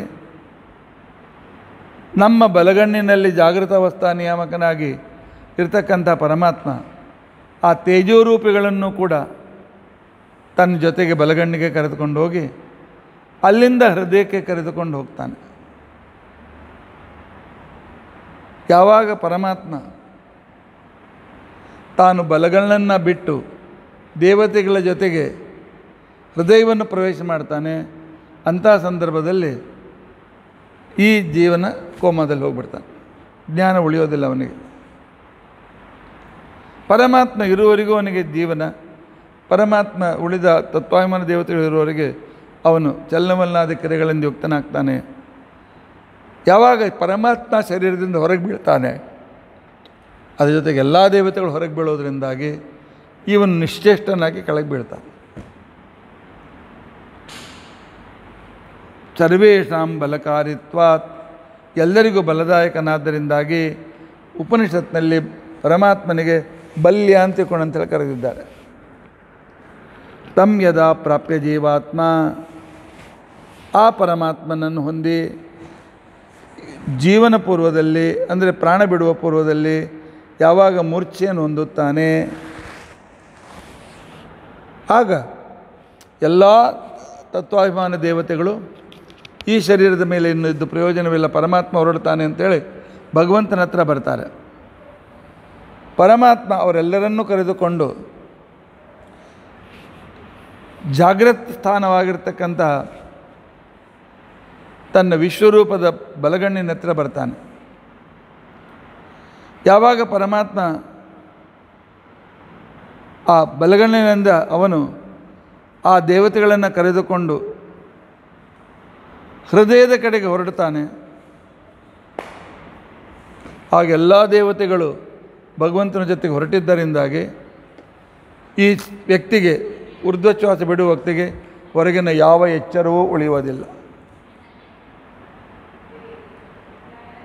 ಪ್ರಾಣೋತ್ಕ್ರಮಣವೂ ಕೂಡ ಸುಮ್ಮನೆ ಏನು ಪ್ರಾಣವಾಯು ಹೊರಟೋಗ್ತದೆ ಆಯಾವ ಯಾವ ಹೋಗ್ತಾ ಇಲ್ಲ.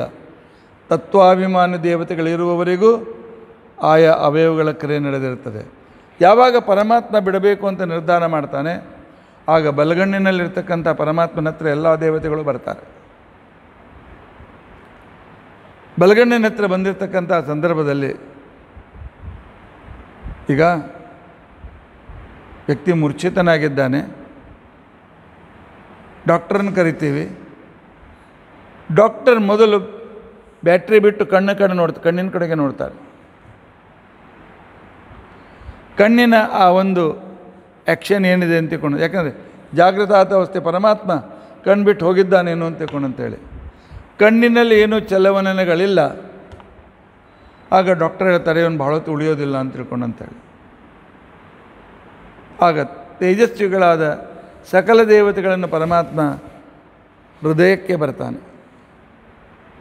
ಹೃದಯಕ್ಕೆ ಬಂದಾಕ್ಷಣಕ್ಕೇನೆ ತತ್ವಾಮಾನ ದೇವತೆಗಳು ತಮ್ಮ ಶಾರೀರಿಕ ಸ್ಥಾನವನ್ನು ಬಿಟ್ಟಿದ್ದರಿಂದಾಗಿ ಈ ಮೃತನಾಗಿರ್ತಕ್ಕ, ಮೃತನಾಗತಕ್ಕಂಥ ವ್ಯಕ್ತಿ ತನ್ನ ಸಂಜ್ಞೆಯನ್ನು ಕಳೆದುಕೊಂಡು ಬಿಡ್ತಾನೆ.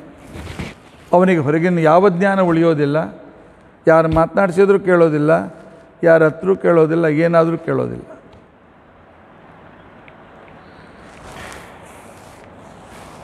ಏನಂ ಬಲ್ಯಂ ಅಭಿಸಂಭ್ಯಾಂತಿ ಜೀವನ ಹತ್ತಿರ ದೇವತೆಗಳು ಬರೋದಿಲ್ಲ, ಜೀವನ ಜೊತೆ ಹೊರಡೋದಿಲ್ಲ, ದೇವರ ಹತ್ತಿರ ಬಂದು ದೇವರ ಜೊತೆ ಹೊರಡ್ತಾರೆ. ಆದ್ದರಿಂದಾಗಿ ಭಗವಾನ್ ಪ್ರತ್ಯಕ್ ಪರಾವರ್ತತೆ. ಪರಮಾತ್ಮ ಪರಾಕ್ಸ್ಥಿತ, ಬಹಿರ್ಮುಖನಾಗಿರುವಾಗ, ಕಣ್ಣಿನಲ್ಲಿರ್ತಕ್ಕಂತಹ ವಿಶ್ವನಾಮಕನಾಗಿರ್ತಕ್ಕಂಥ ಪರಮಾತ್ಮನು ಅಂತರ್ಮುಖಿಯಾಗಿ ಹೃದಯದ ಕಡೆಗೆ ಹೊರಡ್ತಾನೆ, ದೇವತೆಗಳನ್ನು ತನ್ನ ಜೊತೆಯಲ್ಲಿ ಕರೆದುಕೊಂಡು ಹೋಗ್ತಾನೆ. ಆಗ ನಮ್ಮ ಕೊನೆ ಕಾಲ ಬಂದಿದೆ ಅಂತ ಅಂತೇಳಿ ತಿಳಿದುಕೊಳ್ಳು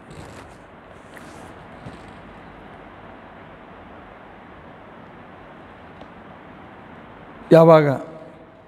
ಪರಮಾತ್ಮನಿಂದ ಕೂಡಿದ ದೇವತೆಗಳು ಕಣ್ಣಿನಲ್ಲಿ ಬಂದು ಕೂತ್ಕೊಳ್ತಾರೆ. ಆ ಅಂಶದಿಂದಿರ್ತಕ್ಕಂಥ ಅವರ ಜೊತೆಗೆ ಬಂದಿರತಕ್ಕಂಥ ಜೀವನ ಅವತ್ತು ಏನೂ ನೋಡಲಿಕ್ಕಾಗೋದಿಲ್ಲ. ಕಣ್ಣು ತನ್ನ ದೃಷ್ಟಿಯನ್ನು ಕಳೆದುಕೊಳ್ತದೆ. ಆ ನಂತರ ಜೀವ ಪರಮಾತ್ಮನು ಹೃದಯದಲ್ಲಿರುವುದರಿಂದಾಗಿ ಒಂದೊಂದು ಅಂಶ ಹೃದಯಕ್ಕೆ ಬರುವಂತೆ ಒಂದೊಂದು ಅವಯವಗಳು ಬಿದ್ದು ಹೋಗ್ತವೆ. ಇಲ್ಲೊಂದು ಮಹತ್ವಪೂರ್ಣವಾಗಿರ್ತಕ್ಕಂಥ ವಿಷಯವನ್ನು ಹೇಳ್ತಾರೆ ಉಪನಿಷತ್ತಿನಲ್ಲಿ. ಭಗವಂತ ನಮ್ಮ ಹೃದಯ ಮಂದಿರದಲ್ಲಿದ್ದಾನೆ. ಪ್ರಾದೇಶ ಮೂಲೇಶ ಅಗ್ರೇಶನಾಗಿ ಅವನ ಕಾಲ್ಬದಿ ಹತ್ತಿರ ಈ ಜೀವ ಇದ್ದಾನೆ. ಆದರೆ ಈ ಜೀವ ಒಂದು ಅಂಶದಿಂದ ಪ್ರತಿಯೊಂದು ಅವಯವಗಳಲ್ಲಿಯೂ ಇದ್ದಾನೆ. ಪರಮಾತ್ಮ ಒಂದೊಂದು ಅಂಶದಿಂದ ಆ ಜೀವನನ್ನು ಆಯಾ ಅವಯವಗಳಲ್ಲಿ ಇಟ್ಟಿದ್ದಾನೆ. ಜೀವಚೇತನದ ಒಂದು ಅಂಶವನ್ನು ಪರಮಾತ್ಮ ಅಲ್ಲಿಟ್ಟಿರ್ತಾನೆ.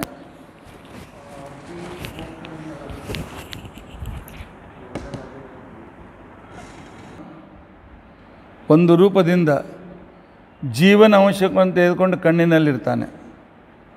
ಮೂಲದಲ್ಲಿ ಜೀವ ಮತ್ತು ಪರಮಾತ್ಮ ಇರುವುದು ಹೃದಯದಲ್ಲಿ. ಈ ಸೂಕ್ಷ್ಮಾಂಶವನ್ನು ತಿಳಿದುಕೊಳ್ಳೋಣ. ಪರಮಾತ್ಮ ಎಷ್ಟು ಕ್ರಮದಿಂದ, ಪರಮಾತ್ಮ ನಮ್ಮ ಜೊತೆಯಲ್ಲಿದ್ದಾನೆ ಅಂತ ಕಣ್ಣು ಕಾಣ್ತದೆ.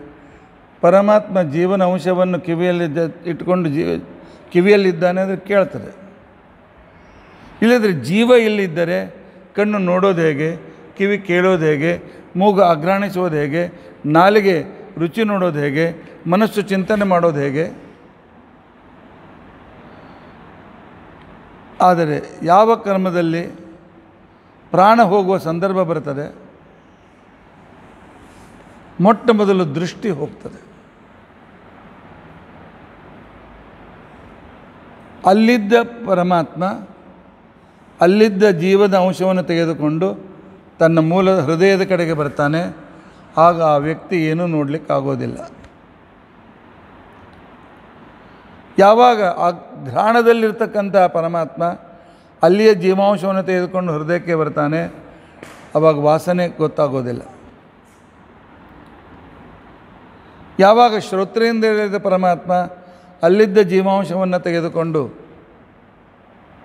ಹೃದಯಕ್ಕೆ ಬರ್ತಾನೆ ಅವಾಗ ಕಿವಿ ಕೇಳಿಸೋದು ನಿಂತು ಹೋಗ್ತದೆ ಜೀವಾಂಶ ತೆಗೆದುಕೊಂಡು ಬರ್ತಾನೆ. ಜೀವ ನಿರಂಶ ಅಲ್ಲೇನು ನಿರಂಶನಾದ ಜೀವನ ಅಂಶ ಹೀಗೆ. ಅದಕ್ಕೋಸ್ಕರ ಹೇಳೋದು, ಜೀವ ಪ್ರಕಾಶ ರೂಪದಿಂದ ಅವನು ಆಯಾ ಅಂಶದಿಂದ ಆಯಾ ಅವಯವಗಳಲ್ಲಿರ್ತಾನೆ. ಅದಕ್ಕೋಸ್ಕರವೇ ಜೀವ ಹೃದಯದಲ್ಲಿದ್ದರೂ ಕೂಡ ಈ ಕೈಗೆ ಜಿಗುಟ್ಟಿದರೆ ಜೋರಾಗಿ ನಾನು ಜೋರಾಗಿ ಜಿಗುಟ್ಕೊಂಡೆ ಅಂತ ಕಾಣಿಸ್ತದೆ. ಜಿಗುಟಿದರೆ ಆ ನಂತರ ಒಮ್ಮೆಲೆ ಆ ಪ್ರಕಾಶ ರೂಪದಿಂದ ಜೀವನ ಅಂಶದ ಮುಖ್ಯ ಜೀವನದವರೆಗೂ ಆ ಸಂದೇಶ ಹೋಗ್ತದೆ. ಆಗ ಅವನಿಗೆ ದುಃಖವಾಗ್ತದೆ, ಕಣ್ಣಲ್ಲಿ ನೀರು ಬರ್ತದೆ. ಜಿಗುಟಿದ್ದು ಇಲ್ಲಿ, ಆದರೆ ಬಂದದ್ದು ಕಣ್ಣಲ್ಲಿ, ನೀರು ಕಣ್ಣಿನಲ್ಲಿ ಕಾಲಿಗೆ ಚುಚ್ಚಿದ್ದು ಮುಳ್ಳು, ನೀರು ಬಾಯ, ಬಾಯಿಂದ ಹಾ ಅಂತ ತಿಳ್ಕೊಂಡು ಅಂತೇಳಿ ಚುಚ್ಚಿದ್ದು ಕಾಲಿಗೆ, ಬಾಯಿಂದ ಹಾ ಅಂತ ಬರಬೇಕು? ಇದೇ ಪರಮಾತ್ಮನ ವಿಚಿತ್ರ. ಪ್ರಕಾಶ ರೂಪದಿಂದ ಜೀವಾಂಶಗಳನ್ನು ಪ್ರತಿಯೊಂದು ಅವಯವದಲ್ಲಿ ಪರಮಾತ್ಮ ಇಟ್ಟು ತಾನವ್ರ ಜೊತೆಗಿದ್ದಾನೆ. ಜೊತೆಗಿದ್ದು ಆ ಜ್ಞಾನವನ್ನು ಕೊಡ್ತಾನೆ. ಆ ಜ್ಞಾನವನ್ನು ಕೊಟ್ಟು ಮೂಲ ಜೀವಕ್ಕೆ ಅದರ ಸುಖ ದುಃಖದ ಅನುಭವವನ್ನು ಮಾಡಿಸ್ತಾನೆ. ಇಲ್ಲದೇ ಇದ್ದರೆ ನಾವು ಜಡ, ಮೃತ ಶರೀರ ಡೆಡ್ ಬಾಡಿ ಅಷ್ಟೇ. ಪರಮಾತ್ಮ ಜೀವಾಂಶವನ್ನು ತೆಗೆದುಕೊಂಡು ಆಯಾ ಅವಯವಗಳಲ್ಲಿ ಇಲ್ಲದೇ ಇದ್ದರೆ ಇಲ್ಲ. ಅದನ್ನು ಇಲ್ಲಿ ವ್ಯುತ್ಕ್ರಮ ಹೇಳ್ತಾ ಇದ್ದಾರೆ. ಯಾವಾಗ ಪರಮಾತ್ಮ ಮನಸ್ಸಿನಿಂದ ಹಿಡಿದು ಮನಸ್ಸಿನಲ್ಲಿರ್ತಕ್ಕಂಥ ಜೀವಾಂಶವನ್ನು ತೆಗೆದುಕೊಂಡು ಹೃದಯದಲ್ಲಿದ್ದ ತನ್ನ ಕಡೆಗೆ ಬರ್ತಾನೆ, ಆಗ ಅವನು ಮನಸ್ಸಿಗೆ ಏನು ಹೊಳೆಯೋದಿಲ್ಲ ವಿಚಾರ ಮಾಡಲಿಕ್ಕೆ ಆಗೋದಿಲ್ಲ ಅವನು ಸ್ಪರ್ಶದಿಂದ ಹೃದಯಕ್ಕೆ ಬಂದಾಗ ಸ್ಪರ್ಶ ಮಾಡಿದರೂ ಗೊತ್ತಾಗೋದಿಲ್ಲ. ಬೆಂಕಿ ಹೆಣ್ಣು ಮೃತ ಶರೀರ ಬೆಂಕಿ ಮೇಲೆ ಇಟ್ಟರು ಅದು ಶರೀರಕ್ಕೆ ಏನು ಗೊತ್ತಿರೋದಿಲ್ಲ. ಆ ನಂತರ ಪರಮಾತ್ಮ ಇಲ್ಲಿಂದ ಅಲ್ಲಿ ಹೋಗಬೇಕಲ್ಲ ಅಲ್ಲಿಂದ ಹೋಗ್ತಕ್ಕಂಥ ಸಂದರ್ಭದಲ್ಲಿ ಎಲ್ಲ ಕಡೆ ಬಂದು ಹೃದಯದಿಂದ ಅವನು ಮುಂದೆ ಹೋಗಬೇಕು ಮುಂದೆ ಹೋಗುವ ಸಂದರ್ಭದಲ್ಲಿ ಒಳಗೆ ಕತ್ತಲೆ ಇದೆ. ಕತ್ತಲೆಯಿಂದ ನಾಡಿಗಳನ್ನು ಹೊರಗೆ ಬೀಳೋದು ಹೇಗೆ?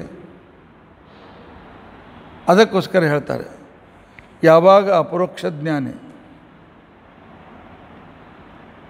ತನ್ನ ಕೊನೆಯ ಶರೀರವನ್ನು ಬಿಡ್ತಾನೆ ಆಗ ತಸ್ಯ ಹೃದಯಸ್ಯ ಅಗ್ರಂ ಪ್ರದ್ಯೋತತೆ. ಹೃದಯದ ಮೇಲಿನ ಭಾಗದಲ್ಲಿ ಒಂದು ಜಗ್ಗನೆ ಪ್ರಕಾಶ ಉಂಟಾಗ್ತದೆ. ಆ ಜಗ್ಗನೆ ಪ್ರಕಾಶ ಉಂಟಾದಾಗ ಆ ಪ್ರಕಾಶದ ಮುಖಾಂತರ ಪರಮಾತ್ಮ ಅಲ್ಲಿಂದ ಶರೀರಕ್ಕೆ ಬರ್ತಾನೆ. ಅಲ್ಲಿಂದ ತಲೆಗೆ ಬಂದು ಬ್ರಹ್ಮರಂಧ್ರದಿಂದ ಆ ನಾಡಿಗಳು ಮುಂದೆ ಹೋಗಬೇಕಾಗಿದ್ದರೆ ಆ ಪ್ರಕಾಶ ಮುಂದೆ ಹೋಗ್ತಾ ಇರ್ತದೆ. ಬ್ರಹ್ಮಸೂತ್ರದಲ್ಲಿಯೂ ಕೂಡ ಈ ವಿಚಾರವನ್ನು ವಿಸ್ತಾರವಾಗಿ ಹೇಳಿದ್ದಾರೆ. ನಾಳೆ ಅದನ್ನು ತಿಳಿದುಕೊಳ್ಳಿಕ್ಕೆ ಪ್ರಯತ್ನಿಸೋಣ. ಅಲ್ಲಿಂದ ಉತ್ಕ್ರಾಮತಿ, ಅಲ್ಲಿಂದ ಬ್ರಹ್ಮರಿಂದ ಪರಮಾತ್ಮ ಹೊರಗೆ ಬೀಳ್ತಾನೆ. ಅದರ ಜೊತೆಗೆ ಪ್ರಾಣವೂ ಹೊರಗೆ ಬೀಳ್ತದೆ. ಆಗ ಜೀವನ ಜೊತೆಯಲ್ಲಿ, ಪರಮಾತ್ಮನ ಜೊತೆಯಲ್ಲಿ ಎಲ್ಲ ತತ್ವಾಭಿಮಾನ ದೇವತೆಗಳು ಹೊರಗೆ ಬೀಳ್ತಾರೆ. ಆ ನಂತರ ಆ ಶರೀರ ಕೆಳಗೆ ಬಿದ್ದುಬಿಡ್ತದೆ ಅಂದರೆ ಪರಮಾತ್ಮ ಒಂದೊಂದಾಗಿ ಅವಯವಗಳನ್ನು ತಾನು ನಿಷ್ಕ್ರಿಯಗೊಳಿಸ್ತಾ ಗೊಳಿಸ್ತಾ ಕೊನೆಗೆ ಈ ಜೀವದಿಂದ ಹೊರಗೆ ಬೀಳ್ತಾನೆ. ಹೊರಗೆ ಬೀಳಿದಾಗ ಜೀವನು ಪರಮಾತ್ಮನ ಜೊತೆಯಲ್ಲಿರ್ತಾನೆ. ಆಗ ಒಂದು ವಿಚಿತ್ರ ಇದೆ. ಜೊತೆಯಲ್ಲಿ ಹೋಗ್ತಕ್ಕಂಥ ಸಂದರ್ಭದಲ್ಲಿ ಆವಾಗ ಪರಮಾತ್ಮ ಜೀವನ ಹೆಗಲ ಮೇಲೆ ಕೂತ್ಕೊಂಡು ದೇಹದಿಂದ ಹೊರಗೆ ಬೀಳ್ತಾನೆ. ಉಪನಿಷತ್ತು ಹೇಳ್ತದೆ ತಮ್ಮ ಉತ್ಕ್ರಾ ಪ್ರಾಣ ಉತ್ಕ್ರಾಮಂತಂ ಸರ್ವೇ ಪ್ರಾಣ ಅನುತ್ಕ್ರಾಮಂತಿ ಸಹ ವಿಜ್ಞಾನಮೇವ ಅನ್ವಕ್ರಾಮತಿ ಸ ವಿದ್ಯಾಕರ್ಮಣಿ ಸಮನ್ವಾರಭೇತೆ. ಪರಮಾತ್ಮ ಜೀವನ ಮೇಲೆ ಕುರಿತು ಜೀವನಿಗೆ ಜ್ಞಾನಕ್ಕೆ ಕಾರಣೀಭೂತರಾಗಿರ್ತಕ್ಕಂಥ, ಜೀವನ ಜ್ಞಾನದ ಅಭಿಮಾನ ಆಗಿರ್ತಕ್ಕಂಥ ಬ್ರಹ್ಮವಾಯುಗಳನ್ನು ಕರಭಾಭಿಮಾನಿ ಗರುಡ ಇವರೆಲ್ಲರನ್ನೂ ಕೂಡ ಕರೆದುಕೊಂಡು ಪರಮಾತ್ಮ ಹೊರಡ್ತಾನೆ. ಪರಮಾತ್ಮ ದೇಹದಿಂದ ಹೊರಗೆ ಬಿದ್ದ, ಜೀವ, ಜೀವನ ಹೆಗಲ ಮೇಲೆ ಕೂತ್ಕೊಂಡು ಹೊರಗೆ ಬೀಳ್ತಾನೆ. ಆಗ ನಮಗೆ ವಿದ್ಯಾಭಿಮಾನಿಗಂಥ ಬ್ರಹ್ಮವಾಯು ದೇವರು ಶರೀರದಿಂದ ಹೊರಗೆ ಬೀಳ್ತಾರೆ.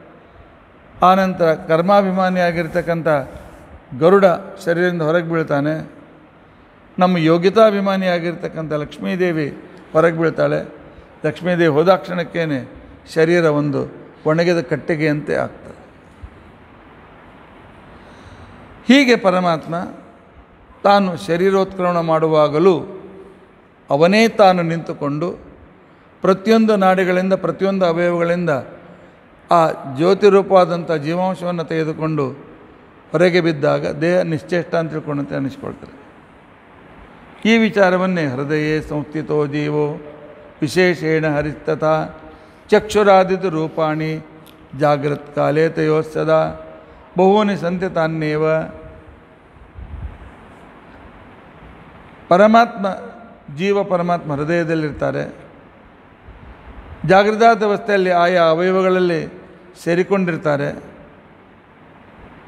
ಆನಂತರ ಈ ಎಲ್ಲ ದೇವತೆಗಳು ಕೂಡ ಅಲ್ಲಲ್ಲಿ ಅವಯಗಳಲ್ಲಿ ಸೇರಿಕೊಂಡಿರ್ತಾರೆ. ಇಂತಹ ಸಂದರ್ಭದಲ್ಲಿ ಜೀವ ಪರಮಾತ್ಮನ ಜೊತೆಯಲ್ಲಿ ಪ್ರಾಣದೇವರು ಕೂಡ ಹೊರಡ್ತದೆ, ಶರೀರ ನಿಶ್ಚೇಷ್ಟಿತವಾಗ್ತದೆ ಇನ್ನು ಯಾವ ಜೀವನು ಯಾವ ಮಾರ್ಗದಿಂದ ಹೋಗ್ತಾನೆ? ಯಾವ ಮಾರ್ಗದಿಂದ ಹೋಗಬೇಕಾಗಿದ್ದರೆ ಅವನು ಹೇಗೆ, ಯಾವ ಮಾರ್ಗದಿಂದ ಪರಮಾತ್ಮನನ್ನು ಕರೆದುಕೊಂಡು ಹೋಗ್ತಾನೆ? ಏಕೆಂದರೆ ಜೀವರಲ್ಲಿಯೂ ಕೂಡ ಅನೇಕ ತಾರತಮ್ಯ ಇದೆ. ಆ ತಾರತಮ್ಯನ ಸಾರವಾಗಿ ಪರಮಾತ್ಮ ಯಾರನ್ನು ಯಾವ ಕ್ರಮದಿಂದ ತೆಗೆದುಕೊಂಡು ಹೋಗ್ತಾನೆ, ಯಾವ ಮಾರ್ಗದಿಂದ ಅಂತಿಕೊಂಡಂತ ವಿಚಾರ ಮುಂದೆ ಬರ್ತದೆ. ಅದನ್ನು ನಾಳಿನ ದಿವಸ ನಾವು ತಿಳಿದುಕೊಳ್ಳಿಕ್ಕೆ ಪ್ರಯತ್ನಿಸೋಣ. ಇತಿ ಅದ್ಯ ಕಥಾ ಪ್ರಸಕ್ತಿ.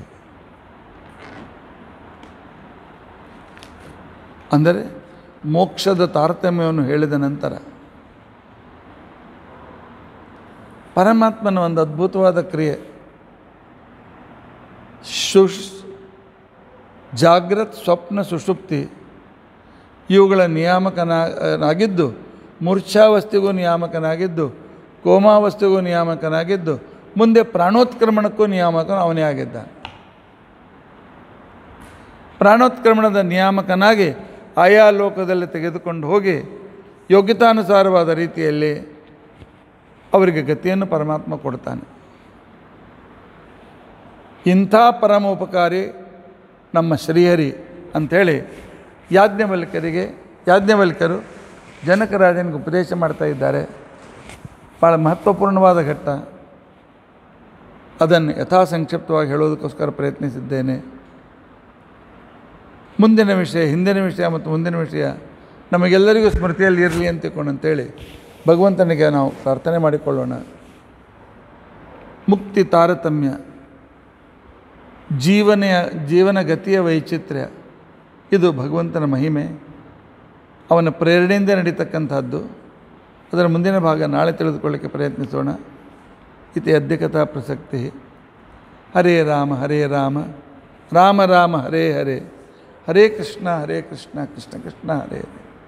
उग्रम वीरम महाविष्णु ज्वलंतम सर्वतोमुखम पृथिम्बम भीषणम भद्रम मृत्यु मृत्युम नमा हम अच्युतानंद गोविंद स्मृति मात्रार्थ नाशन रोगान्मे नाशया शेषान आशुधन्वंत हरे।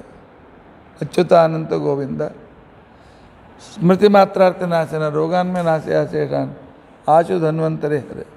श्रीकृष्णापणमस्त